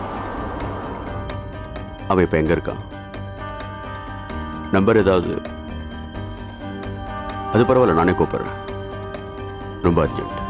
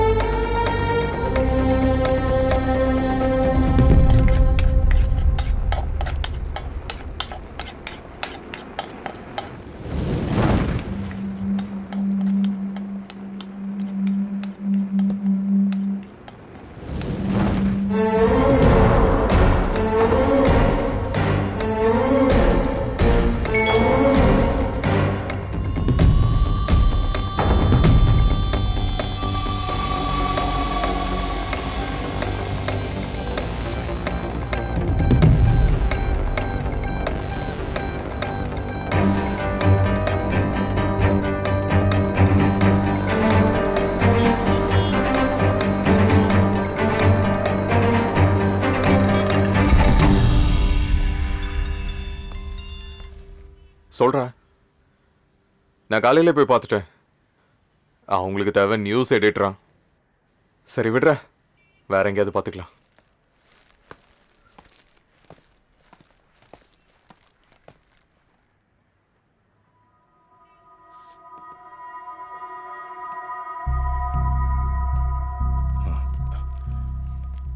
வணக்கம். வணக்கம்.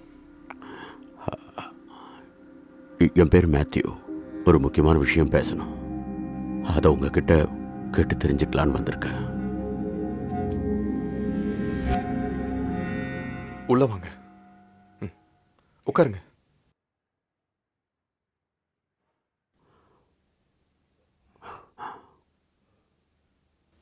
கொஞ்சம் ஹாட் வாட்டர் கிடைக்குமா? காஃபி குடிக்கிறீங்களா? ஆ. ம். நைட்டு ஃபுல்லாக ட்ராவல் பண்ணி வந்திருக்கேன். ஓ. ம். நான் வந்த விஷயத்த சொல்லிடுறேன்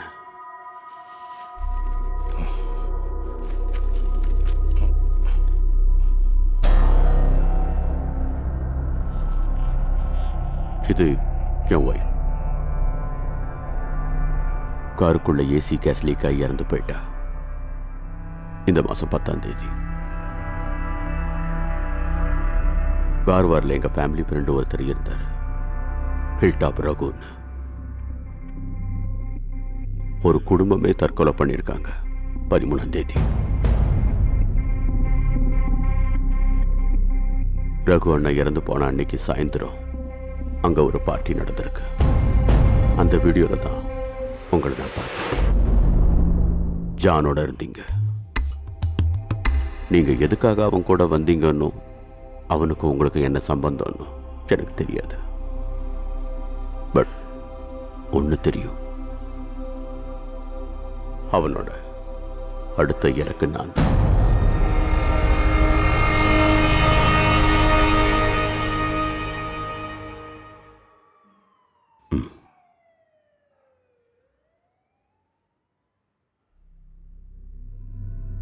தான் சாகிறத நினைச்சு எனக்கு பயம் இல்லை. I am mentally prepared for that மரணத்துக்காக காத்திருக்க முடியல.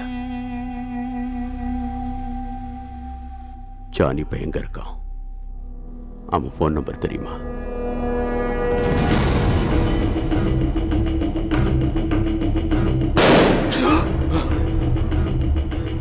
என்னோட என் கண்ணு முன்னால தான் அவங்க.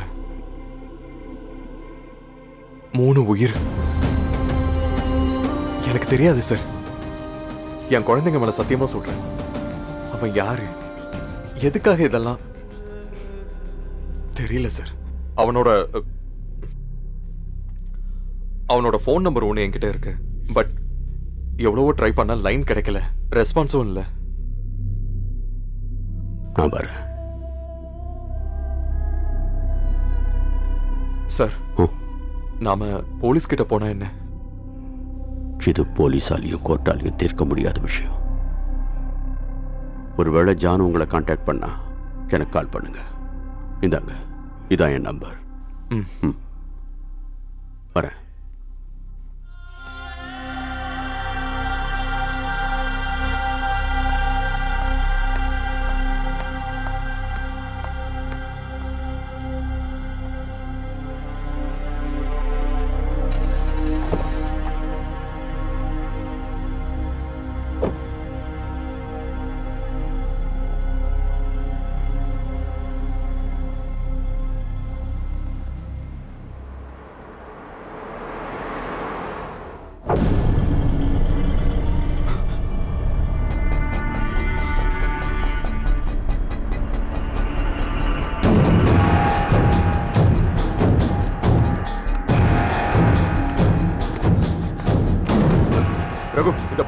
Urgent. வந்து சொல்றேன்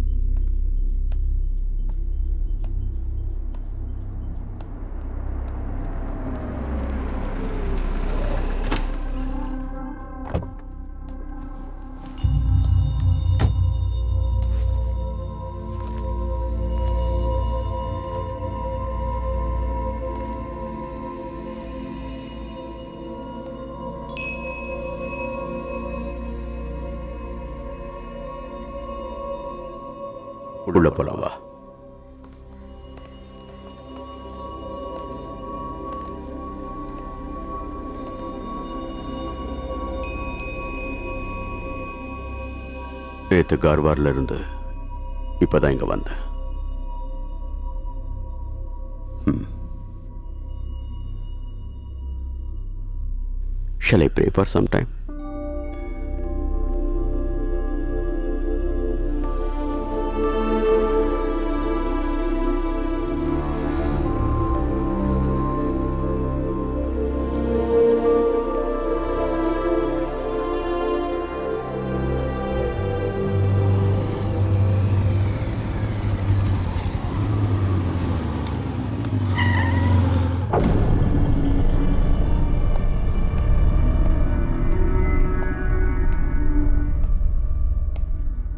இப்ப புரியுதா?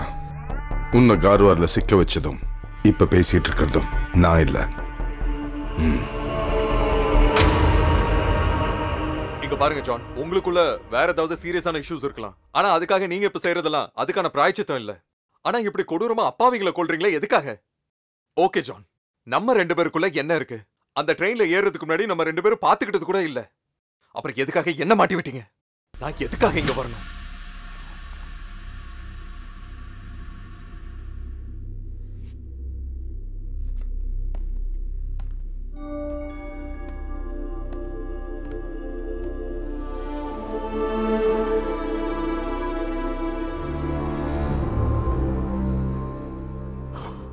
ரொம்ப நேரம் காத்திருக்க வேண்டிய அவசியம் வரல. நான் வந்த உடனே ஜானு வந்துட்டார்.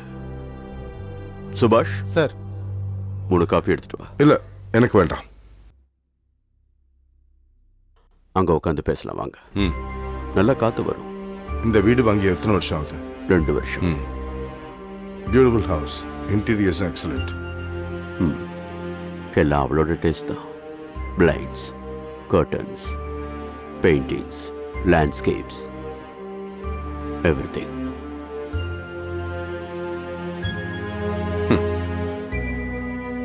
என்னோட ஒய்ஃபும் இதே மாதிரி தான் சொன்னான். வீடு அவருடைய கனவு. ஆனா லொக்கேஷன் இந்த மாதிரி இல்லை. அஸ்ஸாம்ல பிரம்மபுத்திரா நதிக்கரையில். அங்கே நான் ஒரு ரெண்டு ஏக்கர் வாங்கி போட்டிருந்தேன். ரிட்டையர்மெண்ட் ஆனதுக்கப்புறம் நானும் அவளும் வாழ்கிறதுக்கு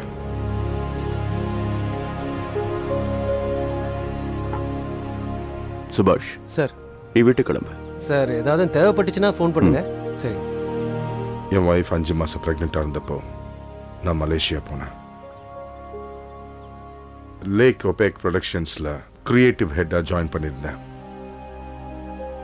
ஒன்றரை வருஷத்துக்கு எனக்கு லீவே கிடைக்கல. டெய்லி நாலஞ்சு தடவை ஸ்கைப்பில் வரும்போதெல்லாம் என் மனசு வலிக்கும். அந்த ப்ரொடக்ஷனுக்கு குட் பை சொல்லிட்டு ஃப்ளைட் ஏறிடான்னு புத்தி சொல்லும். ஆனால் அவ தான் வேணாம்னு சொல்லுவா. தேவையில்லாம எதுவும் பண்ணாதீங்க. இப்ப கிளம்பி வந்தீங்கன்னா காம்பன்சேஷன் எவ்வளவு கொடுக்கணும்னு தெரியுமா உங்களுக்கு? முதல்ல அங்க வேலையெல்லாம் முடிங்க. அப்புறம் பொறுமையா வந்தா போதும். இங்க அப்பா இருக்காரு அம்மா இருக்காங்க பெரிய ஒரு டாக்டர்ஸ் கூட்டமே இருக்கு. அப்படியே பயப்படுறீங்க?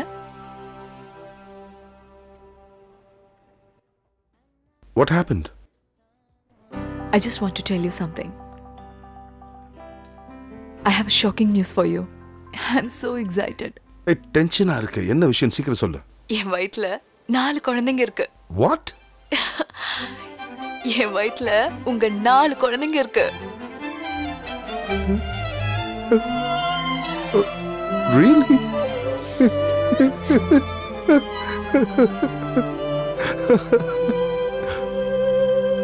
ஆனா நீ எனக்கு ரொம்ப பெரிய கிஃப்ட் கொடுத்துருக்க. 46 six years of my celibacy என்னுடைய நாற்பத்தி ஆறு வருஷ பிரம்மச்சரியத்துக்கு ஒரே நேரத்துல நாலு கிஃப்ட் ஏசப்பா உனக்கு ஸ்தோத்திரம். ஒரே பிரசவத்துல நாலு குழந்தைகள். வாழ்த்துக்கள் மிஸ்டர் ஜான் டேவிட். நீங்க இந்த உலகத்திலேயே அதிர்ஷ்டம் பண்ண ஒரு அப்பா. தேங்க்யூ ஆனா ஒண்ணு மட்டும் சொல்றேன். இதே மாதிரி நீ yeah yeah yeah yeah. I won't repeat it அப்படின்னா சரி. Thank you bye oh my God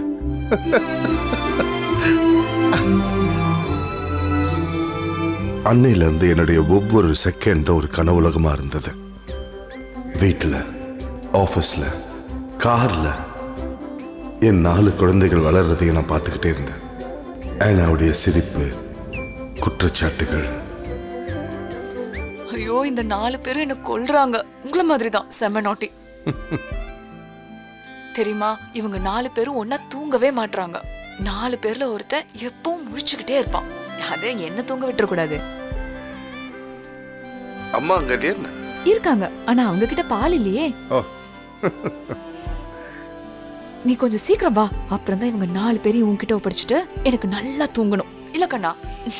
ah okay. பிரசவம் முடிஞ்ச உடனே அவளை ஊருக்கு கூட்டிட்டு போய் அங்க வச்சு நல்லா பார்த்துக்கணும்னு அவங்க அம்மா ஆசைப்பட்டாங்க. நானும் ஓகேன்னு சொல்லிட்டேன். விசா அப்ளை பண்றதுக்காக எம்பசிக்கு போன போது அவ எனக்கு ஃபோன் பண்ணா. இங்க பாரு இங்க இருக்கிற பாதி பேர் தமிழ் தான். பாஸ்போர்ட் விசா எதுவுமே இல்லை. இவங்க கூட தான் அப்பா ரகுணாவை பார்த்துருக்காங்க. அஸ்ஸாமில் இவங்க ஒன்றா வேலை செஞ்சுருக்காங்க. ஆன்ட்டியும் ஒரு பொண்ணும் இருக்காங்களாம். கஷ்டமாக இருக்குடா. தெரியுமா ரகுண்ணாவும் அவங்க ஃப்ரெண்டும் வந்திருக்காங்க. அவங்க ஸ்பான்சர் கூட அப்பா பேசிகிட்ருக்காரு இருக்காரு. அவங்கள ஊருக்கு திருப்பி அனுப்ப முடியுமான்னு பார்க்க நான் அவங்களுக்கு சாப்பிட ஏதாவது கொடுத்துட்டு வரேன். சரியா? ஓகே பாய் ஹே அவங்களுக்கும் டிக்கெட்ஸ் கிடைச்சிருச்சு. சேம் ஃப்ளைட்ல தான். எப்படியும் ஊருக்கு போறோம்னு ஆயிடுச்சு. அதனால அவங்கள வெளியில கூட்டி போய் கொஞ்சம் ட்ரெஸ் எல்லாம் வாங்கி கொடுக்க அப்பா கிட்ட சொன்னேன். அதுக்கு தான் போயிருக்காங்க. டிக்கெட் கிடைச்சிருச்சுன்னு தெரிஞ்சப்போ அவங்க எவ்வளோ சந்தோஷப்பட்டாங்க தெரியுமா? அதை பார்த்தப்போ எனக்கே அழுக வந்துடுச்சு. அந்த உதவிக்கான ஆசீர்வாதம் நம்ம குழந்தைங்க கிடைக்கும். இல்ல ஜான்? அதுதான் அவருடைய கடைசி கால் அன்னையிலிருந்து ரெண்டு நாளைக்கு எனக்கு அவருடைய லைனே கிடைக்கல. மூணாவது நாள் தான் நியூஸ் வந்தது. ஜோசப் ஜார்ஜ் குடும்பமே தற்கொலை பண்ணிக்கிட்டாங்கன்னு.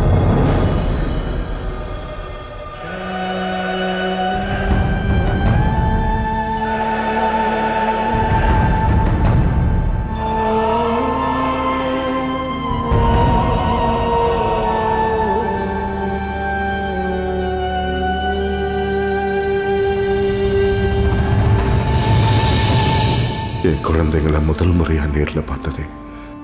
டெட் பாடிஸா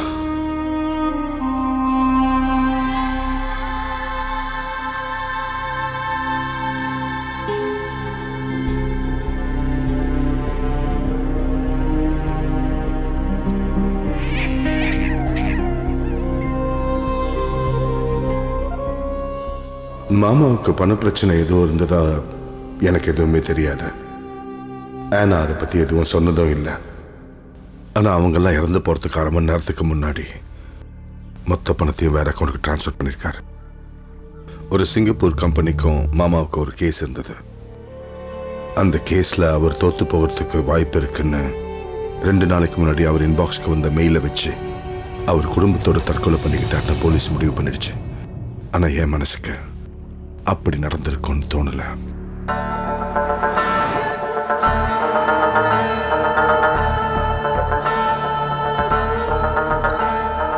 விடை தெரியாத கேள்விகளோட தூக்கம் இல்லாத இரவுகளோட ஒரு வருஷம் கடந்து போச்சு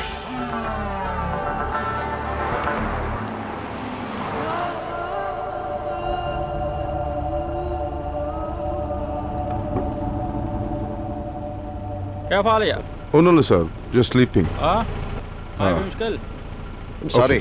ओके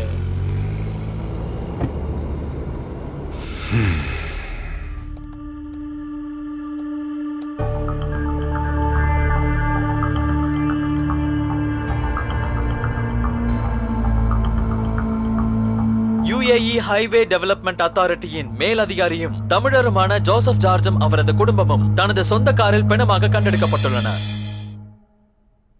அவரது வீட்டு வளப்பில் தான் இச்சம்பவம் நடந்துள்ளது. ஜோசப் ஜார்ஜும் அவரது மனைவியும் அவரது மகளும் மற்றும் அவரது மகளின் ஆறு மாதம் மட்டுமே வயதுடைய நான்கு குழந்தைகள் இச்சம்பவத்தினால் பரிதாபமாக உயிரை எழுந்தனர் ஏர்போர்ட்டிற்கு செல்வதற்காக காரில் அமர்ந்தவுடன் இச்சம்பவம் நடந்துள்ளது. காரின் லாக் சிஸ்டத்தில் ஏற்பட்ட பிரச்சனையின் காரணமாகத்தான் இச்சம்பவம் நடந்தது என்று போலீஸ் கூறுகிறது. திரு ஜோசப் ஜார்ஜும் அவரது குடும்பத்தினரின் மரணம் அது ஒரு விபத்து என்று மீடியாக்களும் போலீசும் சொல்லும் இந்த நேரத்தில் எங்களது தொலைக்காட்சி இந்த மரணத்தை பற்றி சந்தேகத்தை ஏற்படுத்தும் சில கேள்விகளை இங்கு வைக்கிறது.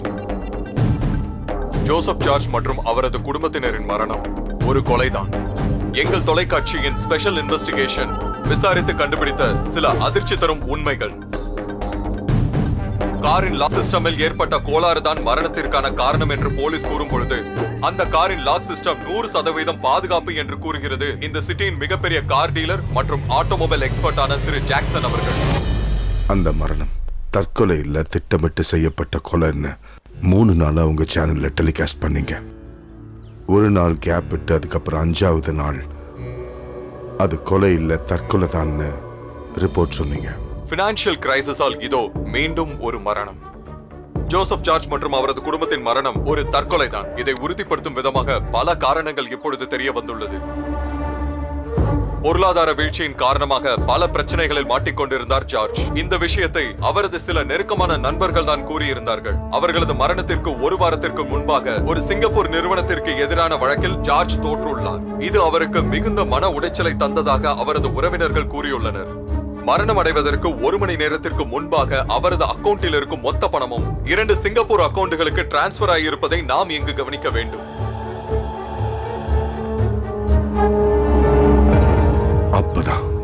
அந்த நிமிஷம். மூடி மறைக்கப்பட்ட உண்மைகள் எல்லாம் என் முன்னாடி தெரிஞ்சது.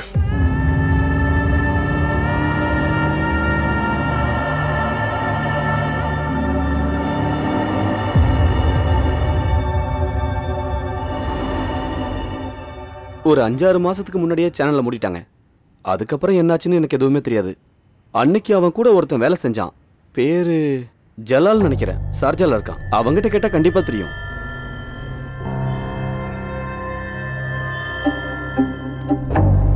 அவன் அதுக்கப்புறம் ஊருக்கு போயிட்டான்.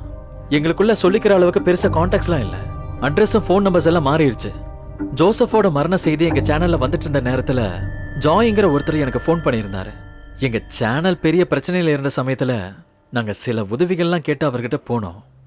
அன்னைக்கு மதிக்காத அந்த ஆளு எங்களை கூப்பிட்டு ஃபண்ட் ஆஃபர் பண்ணான் அவரோட டிமாண்ட் என்ன? அதெல்லாம் தெரியாது. அந்த டீலிங்ஸ் பூரா அவங்களுக்குள்ள தான் இருந்துச்சு.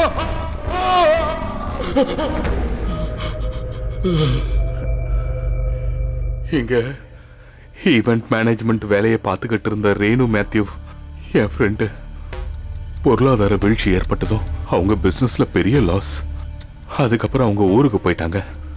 ஜோசப் ஜார்ஜோட செய்திகள்லாம் வந்துகிட்டு இருந்தப்பதான் அவ எனக்கு ஊர்ல இருந்து ஃபோன் பண்ணா. டார்லிங் நீங்க எனக்கு அந்த அனந்தராமன் இருக்கான்ல அவன் வாயை கொஞ்சம் மூடணும். காசு எவ்வளவு வேணும்னு சொல்லுங்க. நான் அனுப்பி வைக்கிறேன். பணத்தை அவங்க ட்ரான்ஸ்ஃபர் பண்ணி கொடுத்தாங்க. அதை நான் அனந்தராமன் கிட்ட கொடுத்துட்டேன். முதல்ல முடியாதுன்னு தான் சொன்னாரு. அப்புறம் சேனல் நடத்த முடியாம ரொம்ப கஷ்டப்பட்டுக்கிட்டு இருந்தார்ல. அதனால அவரே எனக்கு ஃபோன் பண்ணி சொன்னாரு. செய்தியை மொத்தத்தில் அவரே மாத்திட்டாரு. உன்னோட அந்த ஃப்ரெண்ட் இப்ப எங்க இருக்கா? கொச்சின்ல.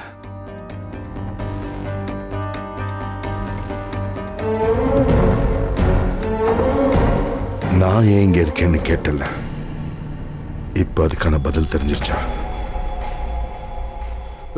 எனக்கு நான்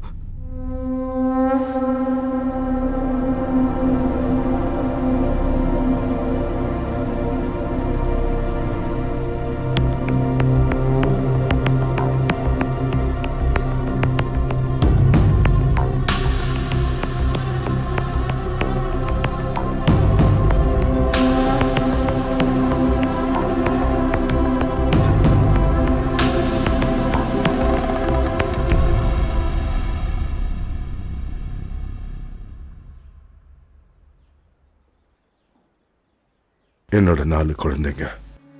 என் வைஃப் அவரோட அப்பா அம்மா. யாருக்கும் மனசால கூட தீங்கு நினைக்காத ஒரு நல்ல குடும்பம். நான் ஏன் இன்னைக்கு அவங்கள எழுந்து நிக்கிறேன்? அதுக்கான பதில நீதான் எனக்கு சொல்லணும். மா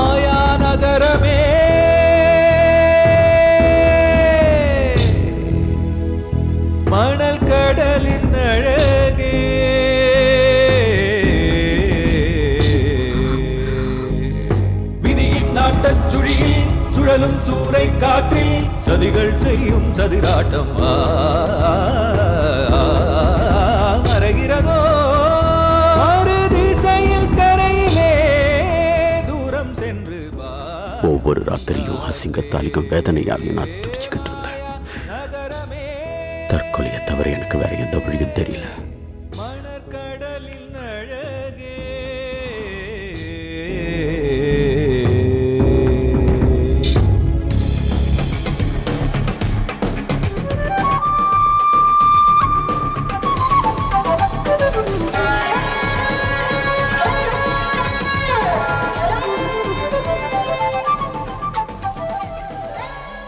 என்னது சுரேஷ் இந்த நேரத்தில் கூப்பிடுறான்?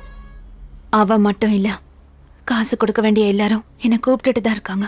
எதுக்கு? வாங்கின பணத்தோட வட்டியா? அவங்க கூட பெட்ல படுத்து கழிக்க சொல்றாங்க.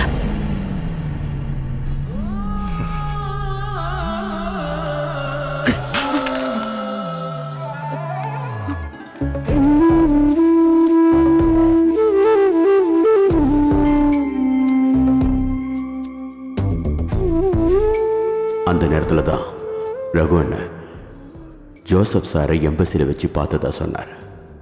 பாதாளத்துக்கு போய்கிட்டு இருந்த எங்களுக்கு ஜோசப் சாருடைய அந்த சந்திப்பு பெரிய நிம்மதியை கொடுத்துச்சு.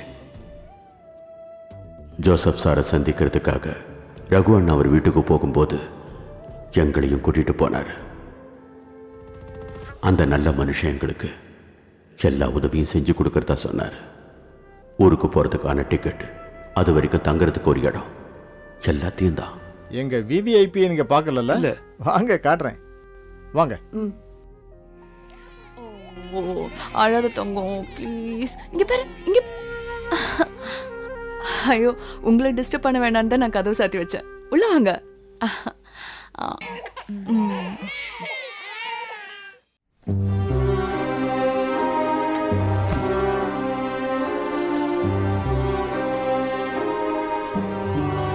ம். அன்னைக்கு சாயந்தரமே எங்கள் திங்ஸை எல்லாம் பேக் பண்ணிக்கிட்டு ஜோசப் சார் வீட்டுக்கு தங்கறதுக்காக போனோம்.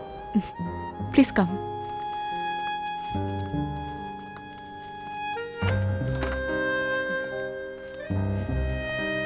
ப்ளீஸ் இதான் அங்கிள் உங்க ரூம்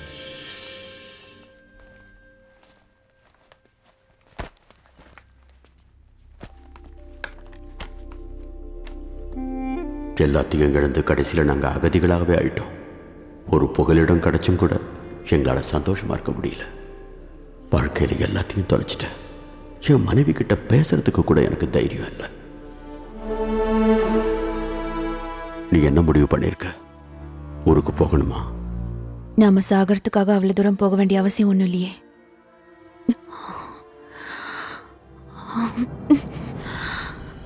ஊருக்கு போய் நம்ம எப்படி வாழ போறோம்? காசு கொடுக்க வேண்டிய எல்லாரும் இப்படி எந்த நேரமும் ஃபோன் பண்ணிட்டு இருக்கும் போது நான் அவங்க கிட்ட என்ன பதில் சொல்ல முடியும்? இல்ல அவங்க கூட எல்லாம் நான் போய் படுக்கணுமா?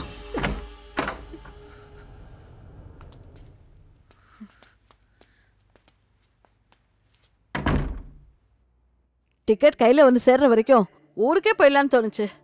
ஆனா இப்ப யோசிச்சா எனக்கு பைத்தியம் பிடிக்குது. இவளோட கல்யாணத்துக்காக நாலஞ்சு ப்ராப்பர்ட்டிஸ் வாங்கி வச்சிருந்தேன். கடனை திக்க எல்லாத்தையும் வித்தாச்சு. மாளிகை மாதிரி ஒரு வீட்டை கட்டி அதையும் தங்கச்சி பேருக்கே எழுதி கொடுத்துட்டாரு. இனி அந்த வீட்டுக்கு போய் ஓசில தான் தங்கணும். நான் அந்த வீட்ல தங்க மாட்டேன்.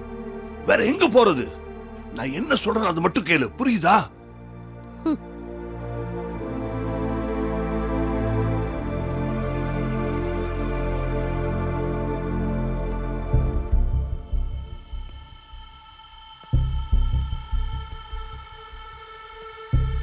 அஞ்சு தலைமுறைக்கு தேவையான சொத்து இப்போ ஜோசஃபோட கையில் இருக்கு. நாம தொலைச்சிட்டு நிற்கிற வாழ்க்கை நமக்கு திரும்ப கிடைக்கணும். அதுக்காக இந்த சொத்தையெல்லாம் நாம எடுத்துக்கிறதுல என்ன தப்பு இருக்கு?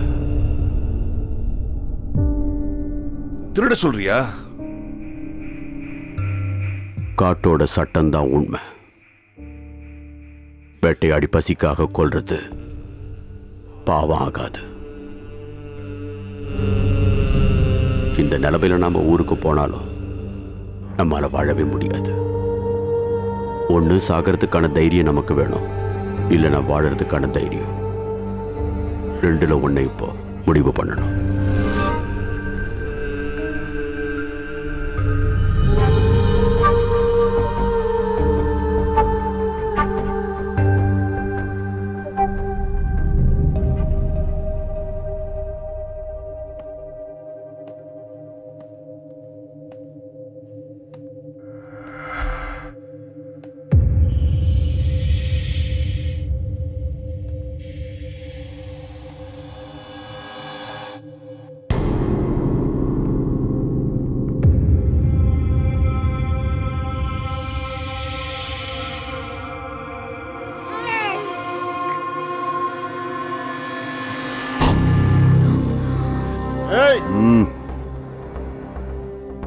சத்தம் போட்டு ஆளை கூப்பிடாத. குழந்தையோட கழுத்துல இருக்கிற கத்திய கொஞ்சம் அழுத்தினா போதும். உயிர் உடனே போயிடும். வேண்டாம். குழந்தைய ஒன்றும் செஞ்சிடாதீங்க. உங்களுக்கு என்ன வேணும்? பணம். உங்க குடும்பத்தில் இருக்கிற எல்லாரும் பேங்க்ல டெபாசிட் பண்ணியிருக்கிற மொத்த பணமும் எங்களுக்கு வேணும். நான் சொல்ற பேங்க் அக்கவுண்ட்டுக்கு ஆன்லைன்ல ட்ரான்ஸ்ஃபர் பண்ணு. அதுவும் இப்பவே. ஒரு நிமிஷம் வேஸ்ட் ஆனாலும் குழந்தையோட உயிர் போயிடும்.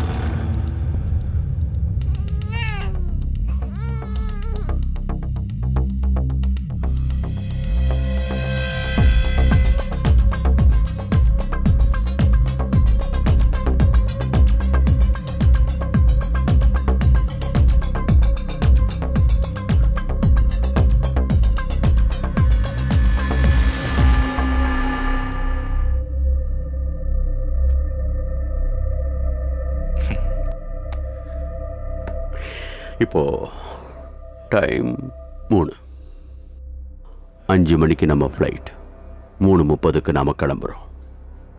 இங்க நடந்த எதுவுமே யாருக்கும் தெரியக்கூடாது. குழந்தை அது வரைக்கும் எங்க கையில தான் இருக்கும்?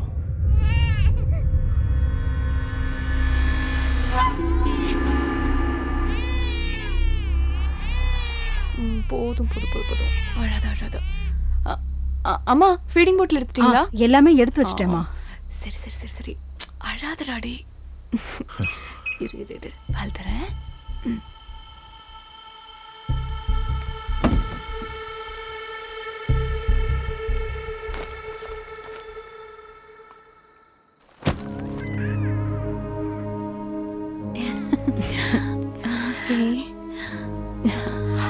ஓ அழாத தங்கம் ஊருக்கு போயிடலாம். குழந்தை கொடுங்க. ஒண்ணு இல்லடா செல்லம் அழாத. என்ன தங்கம் வேணும்?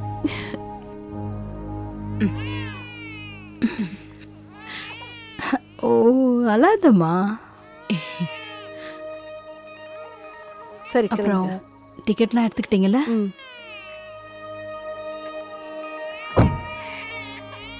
Okay bye. பாய்.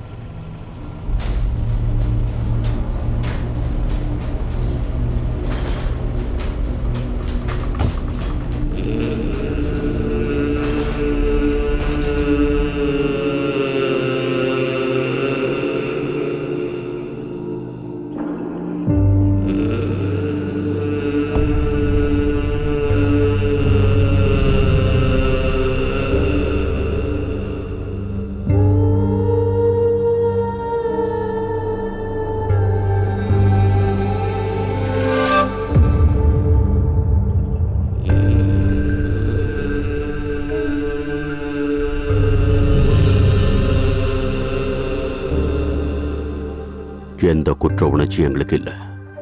நல்லா யோசிச்சு தான் அதை செஞ்சோம். யோசிக்கும் போது வேதனையாக தான் இருக்கு. ஆனா குற்ற உணர்ச்சி எதுவும் இல்லை. நாங்க கண்ண மூடி திறக்கிறதுக்குள்ள எங்க வாழ்க்கையை நாசமாக்குனது யாரு? இருபத்தொன்பது வருஷம் நான் கஷ்டப்பட்டு உருவாக்குனது எல்லாத்தையும் ஒரே நிமிஷத்துல மொத்தத்தை அழிச்சது யாரு? என் மனைவியோட மானம். ஆம்பளைங்கிற என் தன்மானம் எல்லாத்தையும் நாசமாக்குனது யாரு? உண்மைதான். எந்த தப்பும் பண்ணாத ஏழு பேரை நாங்க கொன்னோம். ஆனா அதுக்கு முன்னாடி ஒரு ஈ எறும்ப கூட கொன்னது கிடையாது. எங்கள் நிலைமை? சில சமயங்கள்ல அந்த நாலு குழந்தைங்க முகம் என் ஞாபகத்துக்கு வரும். அந்த நேரத்துல எனக்குள்ளேயே நான் ஒரு வார்த்தையை சொல்லிக்குவேன். காட்டோட சட்டம்தான் உண்மை. பசிக்கும் போது வேட்டையாடி கொள்றதுல தப்பு இல்லை. பாவமும் இல்லை. பாவமே இல்லை.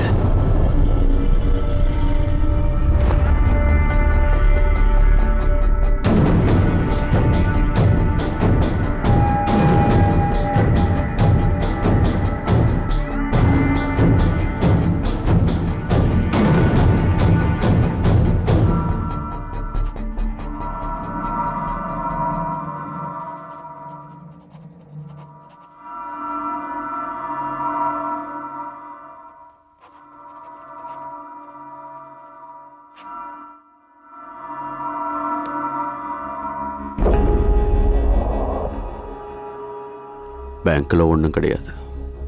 இந்த வீடும் வெளியில் இருக்கிற காரும் மட்டும்தான் இருக்கு. அதை நான் சுபாஷ்க்கு எழுதி வச்சிட்டேன்.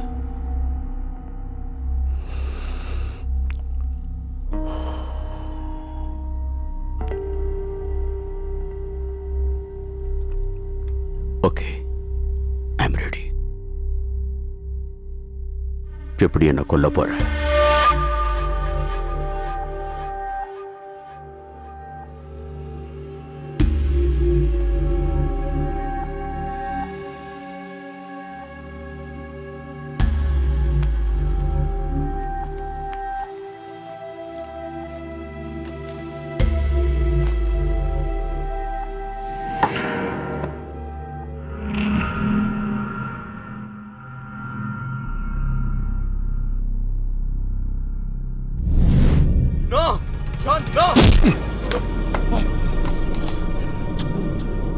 செத்து தொலையாத.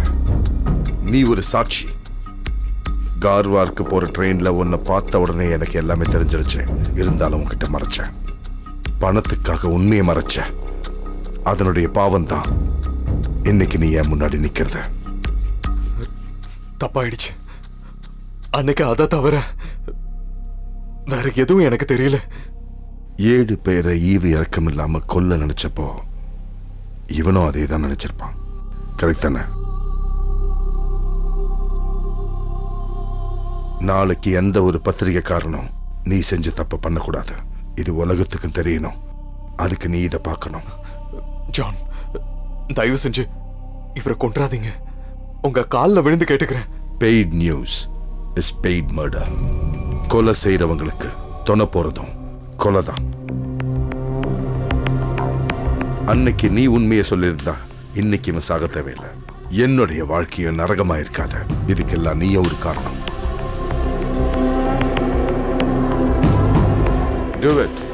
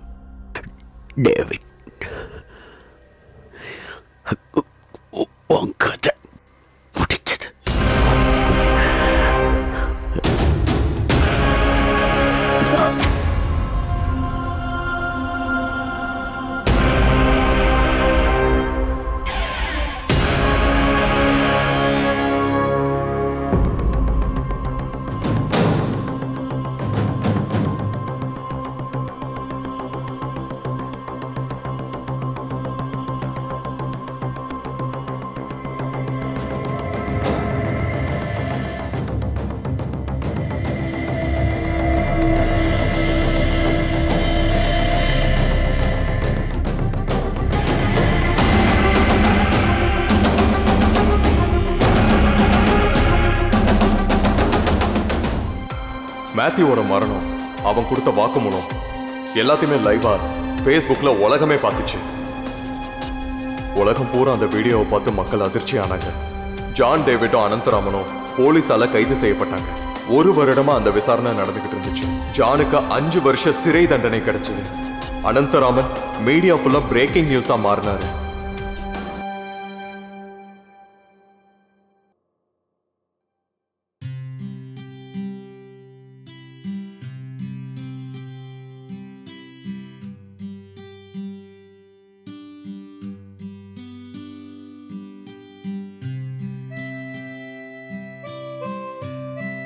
இந்த புத்தகத்தை எழுதி நான் முதல் முதலா படிச்சு காமிச்சது என்னோட மனைவிக்கும் குழந்தைக்கும் தான். கடைசி பேஜை படிச்சு முடிச்சதுக்கு அப்புறமா நான் அவங்க கிட்ட கேட்டேன் யாரு இந்த கதையோட வில்லன் அவங்க தெரியாதுன்னு சொல்லிட்டாங்க. ஆனா எனக்கு தெரியும். நான் தான். அனந்தராமன் அப்படிங்கிற பத்திரிகையாளர். உங்க மனசு ரொம்ப தெளிவா இருந்தா எந்த குழப்பமும் இல்லாம டயர்டா இல்லாம இருந்தீங்கன்னா you're in a perfect mood for journalism Mumbai இனம் ஒரு ஜேர்னலிசம் கிளாஸ்ல சொன்ன வேரன் எலிசனோட அந்த வார்த்தைகளை மறந்தது நான் தான். இந்த கதையோட பர்ஃபெக்ட் வில்லன்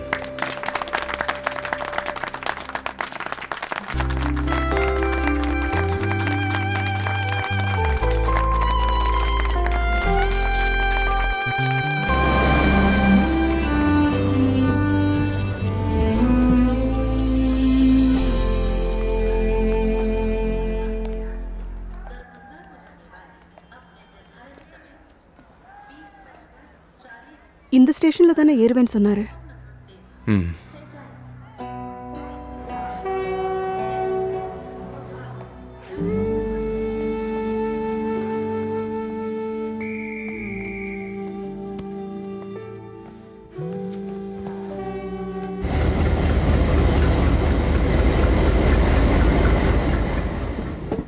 சார் ஒரு கம்ப்ளைண்ட் இருக்கு. சார் சொன்னா கேளுங்க ஒரு கம்ப்ளைண்ட் இருக்குன்ற. एक बार बोल दिया ना சொன்னா கேளுங்க சும்மா கிடையாது சார் உழைச்சி नहीं, नहीं, சம்பாதிச்ச तुम जाओ, காசு जाओ। சமோசா கேட்டா பேப்பர்ல வச்சு தூக்கி எறிறான் சார் உணவுங்கிறது கடவுள் மாதிரி மனுஷனுக்கு ரொம்ப ரொம்ப முக்கியமான ஒரு விஷயம் உங்களுக்கு கொஞ்சமாவது மனசாட்சி இருக்கா யாரு நானா இல்ல நீங்க இல்ல அந்த சமோசாவை செஞ்சவன் ஓ, ஓகே ஓகே காசு கொடுத்து தானே சமோசா வாங்குற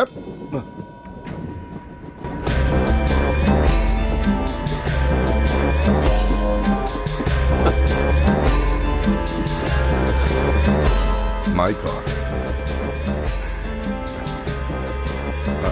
இந்தாங்க சமோசா சூடா இருக்கு நான் அவரை சும்மா கலாய்ச்சேன் எங்க அவனுடைய புக்கு வாங்க My God. Paid news is paid murder. Memoirs of a broken journalist.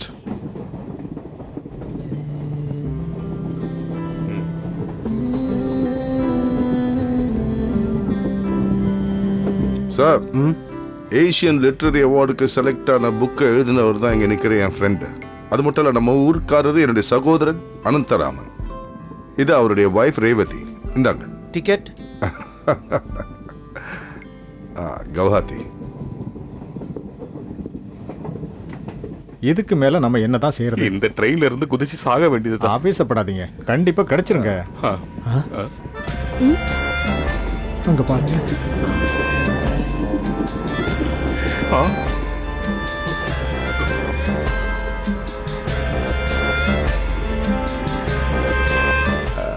கோட்டூர்புர Natarajan முதலாளி தானே? முதலாளி இல்ல. பிச்சைக்காரன் ஆயிட்டேன் பொருள் எப்பவுமே இதோ இது வரைக்கும் வந்துடும் ஆனா கையில கிடைக்காது. சந்திரகிரி பழப்பட்டு குண்டல்பேட்டு லுதியானா ஜலந்தர் இது வரைக்கும் போகாத இடமே இல்லை. இது வரைக்கும் இவருக்கு கண்டக சனி. இப்போ கொஞ்சம் கொஞ்சமா குறைஞ்சிக்கிட்டு வருது. கவுஹாத்தி வரைக்கும் போனா கண்டிப்பா நடக்கும்னு சொல்லியிருக்காரு. சுவாமி சொன்னதுனால கண்டிப்பா நடக்கும். சுத்திக்கிட்டே இருக்க வேண்டியதுதான். ஏன் அப்படி சொல்றீங்க? நானும் சுத்திக்கிட்டு இருக்கேன்ல.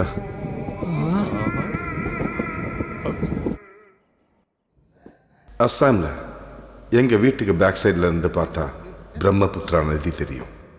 நினைவுகளை யோசிச்சு பார்க்க ஒரு நல்ல இடம். உண்மையிலே வாழ்க்கைங்கிறது ஒரு ரயில் பயணம் மாதிரி தான் ஆனால் அது யாருக்கும் புரியறதில்லை.